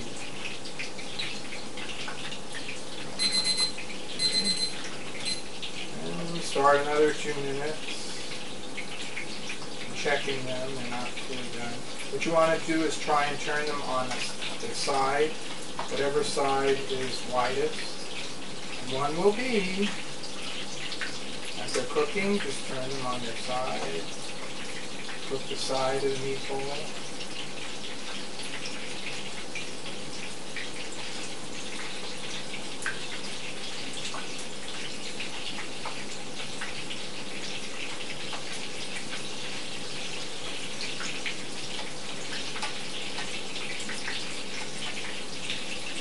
Just flipping them over on their side. Some of them will stand, some won't. You'll see one side will look much whiter than the other. That's the side you want to stand on.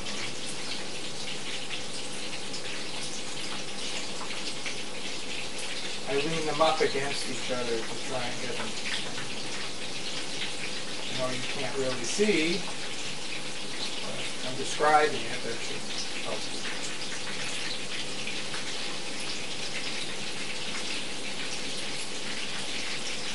Now, the largest ones, I'm going to take a few, six meatballs, and throw them in the sauce. Now, most people like their meatballs,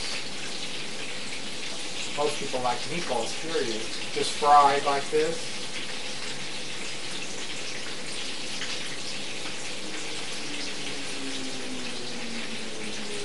Um, I used to, my dad and I always liked the fried meatballs better than the one in the sauce. So I don't put them all in the sauce. Just put some just to give some flavor. But the rest of them I leave just fried like this and serve them on the side. And they really taste good, just fried. One more. Monitor the meatballs. Some of them will be done already. Remember, they didn't go in all at exactly the same time. So roll them over. If they're golden on all sides, take them out, put them on the paper towel. Some will be, some will not be. The smaller ones will be ready. And you don't want them to all come out at the same time. Just keep flipping them around. Doesn't hurt.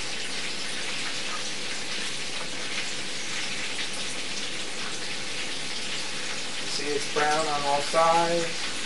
Brown.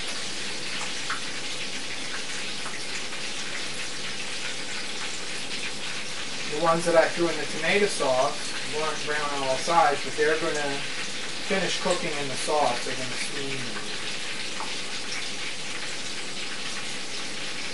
the sauce boils. They don't have to be cooked all the way through. These do because you're going to eat them just like this.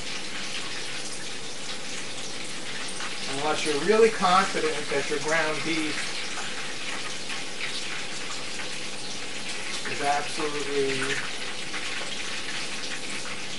safe. I would not well beef. You have a butcher maybe that grinds meat for you right there. You know the meat is safe. Pass off. Move this off the burner so the oil doesn't keep heating and smell the whole house up. The smoke. There they are. How does that look? Fried meatballs. Yum. Mmm. Don't eat one right now. They're boiling hot. You burn your mouth out. I've done that. Okay. Finished with you, Tiger. So we set the meatballs aside. I'll let you put them over here. Once they cool down, if you're not eating right away, you can put them in the refrigerator. Um, you can always reheat them a little bit just before you serve them not in the microwave. Put them in the oven or reheat them in the frying pan. Um, or you could throw them in all in the sauce if you wanted to, but I wouldn't, I wouldn't do that. but uh, they taste good cold too, believe it or not. So it's up to you. You can refrigerate them, serve them cold, or just refrigerate them and warm them up just before you serve, because we still have to make the gnocchi and we have to boil them and I have to change the tape because all I have left on this is six minutes and no way can I do the gnocchi in six minutes. So I'm going to pause again, change the disc, get prepared, and then we're going to make, finally, the gnocchi. Okay, I'm back and I got a new disc in there. So I've got my large wooden board over here and here I've got a big pot of water, which I'm now going to start heating. It's my lighter. This is the big burner because it's a lot of water. And it'll take the other burner forever. Now I want it on full blast. Okay. So it's just just water, three-fourths full, no more than that because the pasta is going to fill it up. I'm going to take a handful, actually too much, a handful of salt. I took a giant handful, just a normal amount, just to salt the water so that the pasta will get a little bit of salt in it. Get a little stir here. Stir the salt in. Otherwise it just settles at the bottom.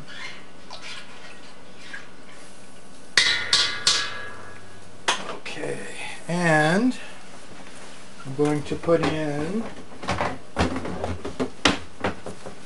just a little, little bit drizzle of olive oil. I hear many different opinions of this. Some say, oh, olive oil, you don't need to put it in the pasta water. The pasta doesn't have anything to do with the pasta sticking. Well, it gives it a nice flavor anyway, and in my experience, it does help for the pasta not to stick. So it's up to you, but to me, I use a little bit, not a lot. Okay, here is our gnocchi dough. And I'm over here in the corner. This is a very small kitchen. I apologize. I don't have much room to maneuver. It's hard to get the camera so you can see. Uh, the best I can do. I had a professional kitchen, be a lot different. A lot of these people who make videos have these really big, nice kitchens. I don't. This is all I got. Got to work with what I got. Okay, there's our dough. I'm going to take out a dish. Okay, flat dish. I'm going to Stick it over here.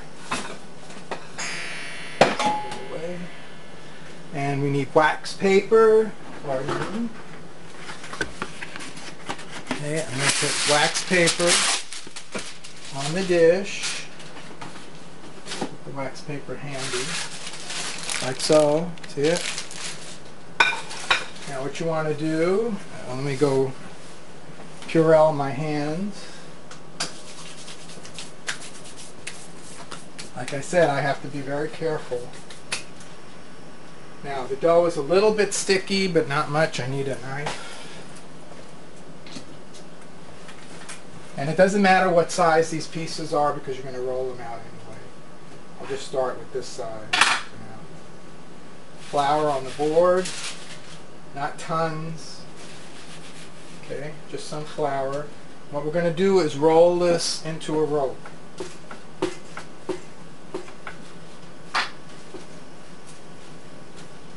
It's hard to fit all this stuff here. Doing my best. Roll, roll, roll. Can you see the size of that? It doesn't matter if it's perfectly even either.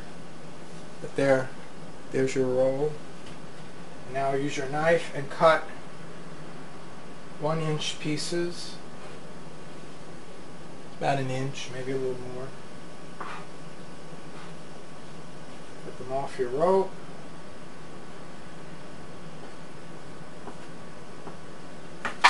Now you pick up one of your pieces, roll it in your hand like the meatball till it's nice and smooth. And then this is the different, in Italy when they usually make gnocchi they either use the cavatelli board or they'll put their thumb in here and push and have it roll up like that. See? Which is fine. Actually that's not so bad. But they'll close it sort of like a shell. But that's what mainly what you want to do is get that indentation in the middle so it looks like a little swimming pool or life raft or whatever.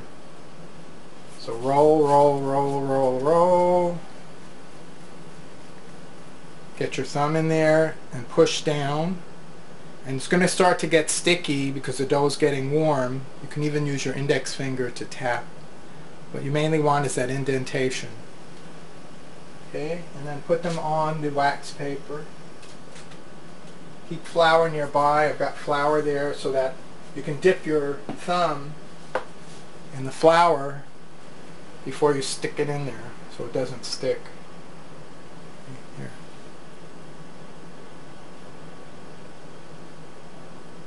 Just make that, you want a little, little raft with a dent in there. And this is what's different to me from other people's gnocchi recipes. I don't see them shaping them like this and it makes a difference. These come very light, very fluffy, but there's, when you put it in your mouth there's enough there that you really taste it. They're not chewy like they're gummy, but they're chewy in that you get enough pasta in there that you have to chew on it a little bit so you get the flavor. It doesn't just go right down. You don't have to put a whole lot of them in your mouth like those real tiny ones. And they're not heavy. They're really not heavy at all. Just tap your indentation. Don't let them touch on the wax paper. You don't want them to stick together. Oops, I need some flour. You can use your index finger too. Just like squeeze them together. Tap, tap, tap. Just make the little rafts. Actually, these are kind of small. I think next time I'll make a little bit bigger. I, I like them bigger. I don't like them too small. Maybe I'll go an inch and a half each. This recipe that I'm making, I didn't mention earlier. I would say feeds four max, three to four. If you want more, if you're having a lot of guests, you'll have to increase the quantities. I'm not going to give you increased measurements. You'll have to figure from what I've given you for the three or four, you can add more depending on how many people you're going to have. You could have another can of puree, another can of paste, four cups of water, like double the salt. You need a big pot. I'm going to cut another piece of the gnocchi dough.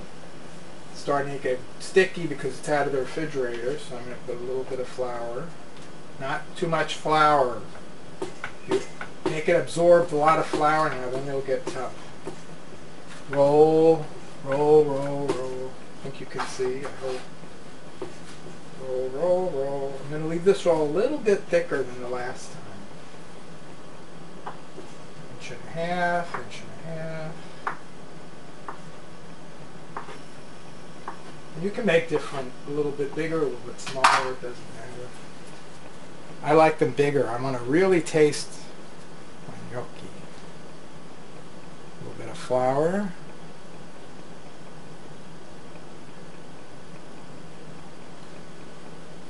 Wax paper. Roll. Roll, roll, roll. Helps if I turn this way so you can see what I'm doing. Tap it down. I'm just dipping my thumb in the flour so it doesn't stick when I make that indentation. If you want to do it the other way where you press your thumb and roll it along, you can do that too, like this.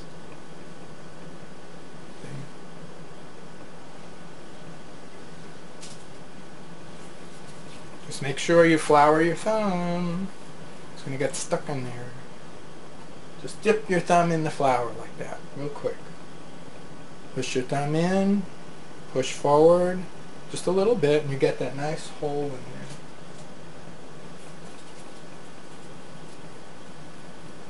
Now if there is another video anywhere with where they make it the same way, I haven't seen it. I hope you'll try this way because it's really good. Go.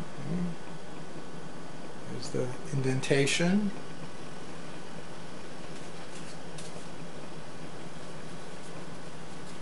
Roll, Roll, roll, roll, roll. After this bunch, I just want to show you how I layer them. Then I'm going to shut the camera off until they're all done. No reason for you to watch me rolling every single one of them. It's all the same thing. Just do the same thing till you finish all the dough. Push down like that. Nice indentation. I'll show you the dish in a minute so you can see what I've done. One more from that log. Dip in the flour. Your thumb in there. Use it together. Okay. What I want to show you is I've got this plate with them on it on the wax paper. Now what I'm going to do is get another sheet of wax paper, put it on top. Can you see? No, there you go. Put it on top of those gnocchi, and the next layer is going to sit on that wax paper so they don't stick together. Okay, so the next bunch, I'll just start so you can see, and then I'm going to shut the camera off. A little bit of flour, just a little, because it's gooey. Not very gooey, just a little Make a rope. Cut it into pieces.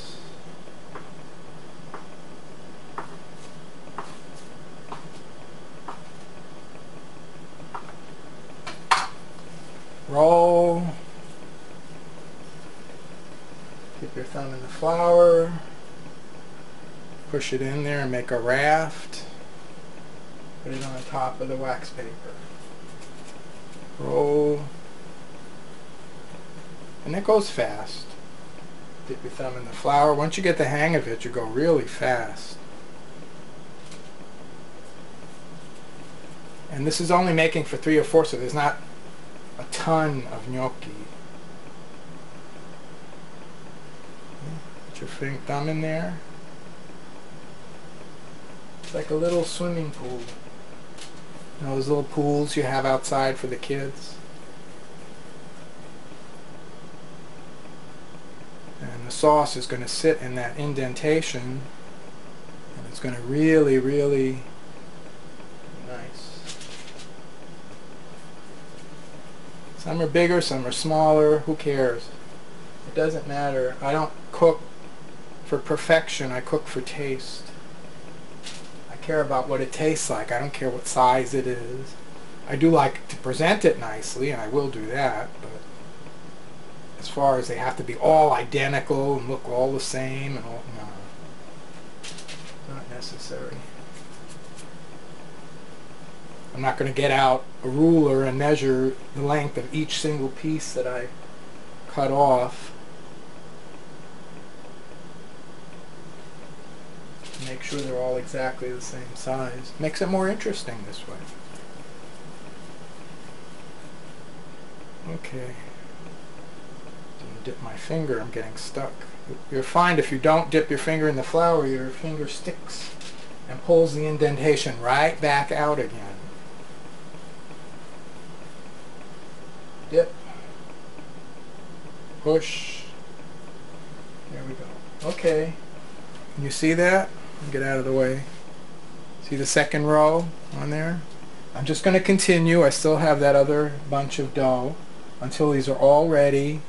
And then once the water is boiling, I'll come back and show you as I put them in. Okay, I'm back. You see the steam coming out of that pot? It's just about at a full rolling boil. You want to make sure it is a rolling boil, not just simmering. And here are finished gnocchi. There they are. I wound up with three layers with the wax paper.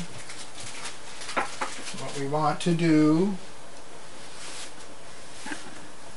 is my Purell again. You want to put them in there a couple at a time, but you want to keep rolling along. You don't want to stop because we don't want them to have different cooking times really. So I'm just going to take a couple like so and just gently drop them in. Go around in a circle so you're kind of not dropping them on top of each other.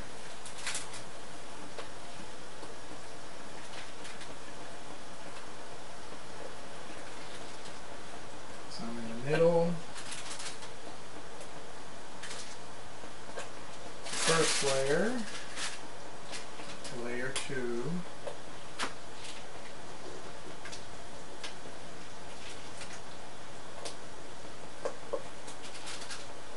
Don't get too close to that water, it's hot.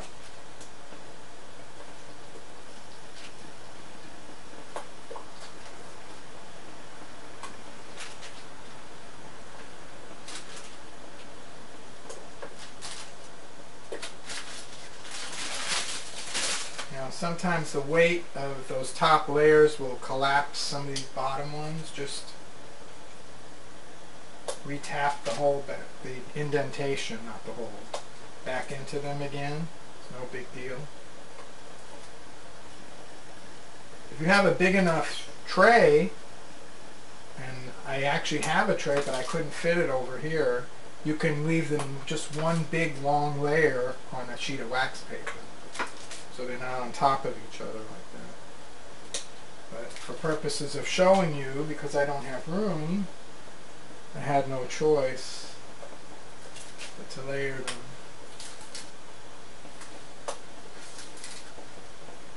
The water is boiling much slower because it cools down as we put all of these gnocchi in there. Okay, once they're all in,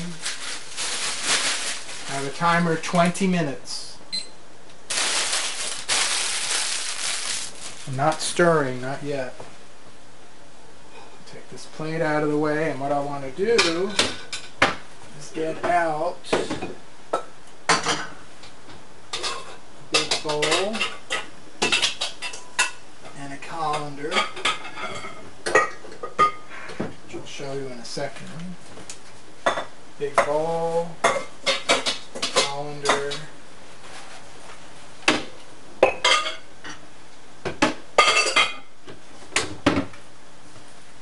Okay, this is what we're going to drain the gnocchi into. And then to serve them, we're going to get the big bowl, which I'll get out of here. I don't have a lot of cabinet space either, so I have to move a lot of stuff every time I want something. I brought a lot of dishes from my house, but I don't have room for them.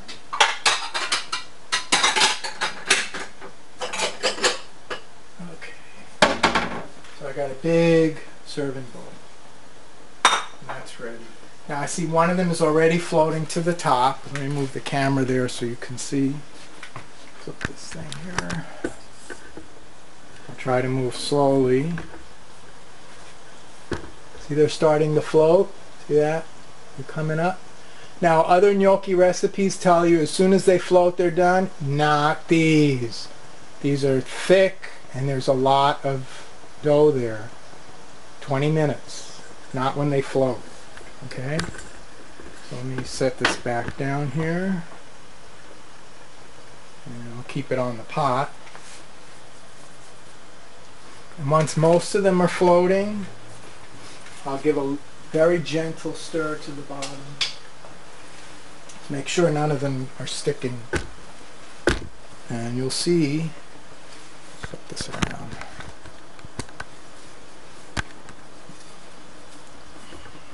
move this closer. See, they're all coming up now, little by little. I can move it closer a little bit.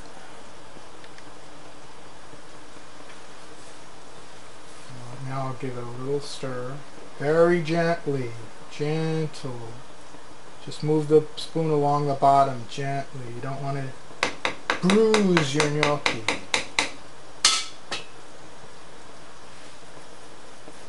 Just got to wait till our 20 minutes are up. The sauce is still here. Stir my sauce a little bit. I did turn the sauce off while I was making the gnocchi because actually it's done. And let me show you. I'll move the camera for a minute over to the sauce because you don't have to watch the gnocchi boil. Okay. And what I want to show you is I'm going to scrape the sauce off here it is, the whole onion. See it? And like I said, now if you love onions, you could cut it up now and eat it or put it in your dish. It's all cooked. Um, you could use it in another dish of some kind if you want. But I don't want it, so I'm just throwing it out. And the tomato sauce is done with all that was in there with the water, you'll see there's not a whole lot left in there. It's just enough. Um, the other thing you want to take out is the bay leaf. You don't want anyone to eat that or get that in their mouth. So that comes out too. Okay. Alright. Now go back to our gnocchi and we still got 15 minutes for the gnocchi to boil. No reason for you to just watch gnocchi boiling. So everything else is ready so I'm going to shut the camera off and as soon as the gnocchi are done I'll show them to you as I take them out and then the finished product okay? I'm popping back in for a second. I did want to mention that there's no need to stir the gnocchi again Once they're boiling like that, once you've released them from the bottom, you don't have to stir it anymore. Just leave them boiling for the 20 minutes, okay? I'll be back. Okay, there's three minutes left on the countdown clock. So um, I'm going to start taking the gnocchi out. And let's see something there. And what you do is you put your slotted, I guess it's not a slotted spoon, but a slotted ladle in there. Shake, shake, and then put them into, and be gentle with these. They're very soft, which makes them very tender and very good. Just let the water drip off, shake a little bit, and gently into your colander. Just a few at a time. Shake, shake, shake. You can feel how soft they are, just like pillows. They're going to taste like that too. Shake, shake, shake, shake. And get most of the water off. By the time we're done taking them out like this, the full 20 minutes will be expired.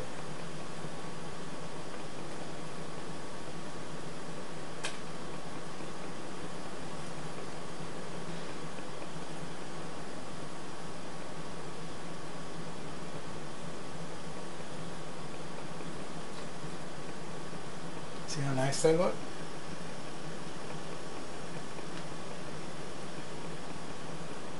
The dent is still there. They still look like little swimming pools.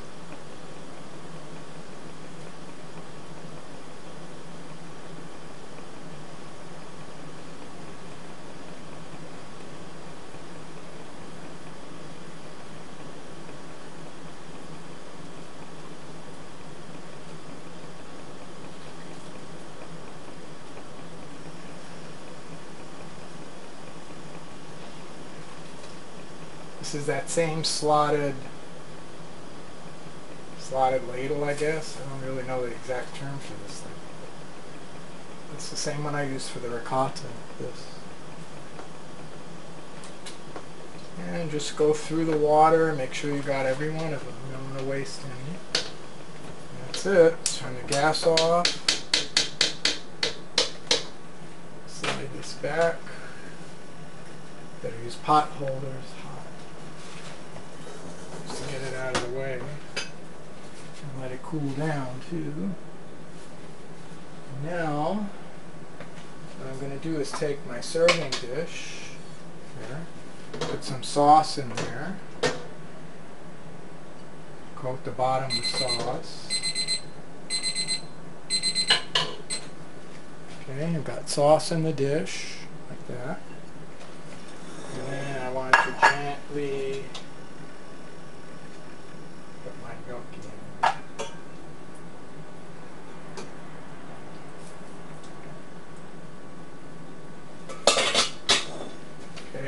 And gnocchi in there. Alright. And then we're going to put more sauce on top. Here's the sauce. If you can see.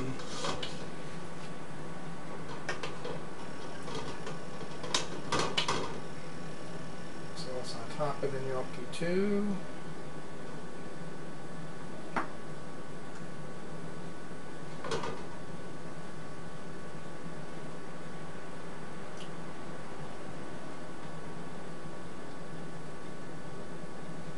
If you're going to serve this, you put your meatballs around the outside. The ones that you put in the sauce. Space them out.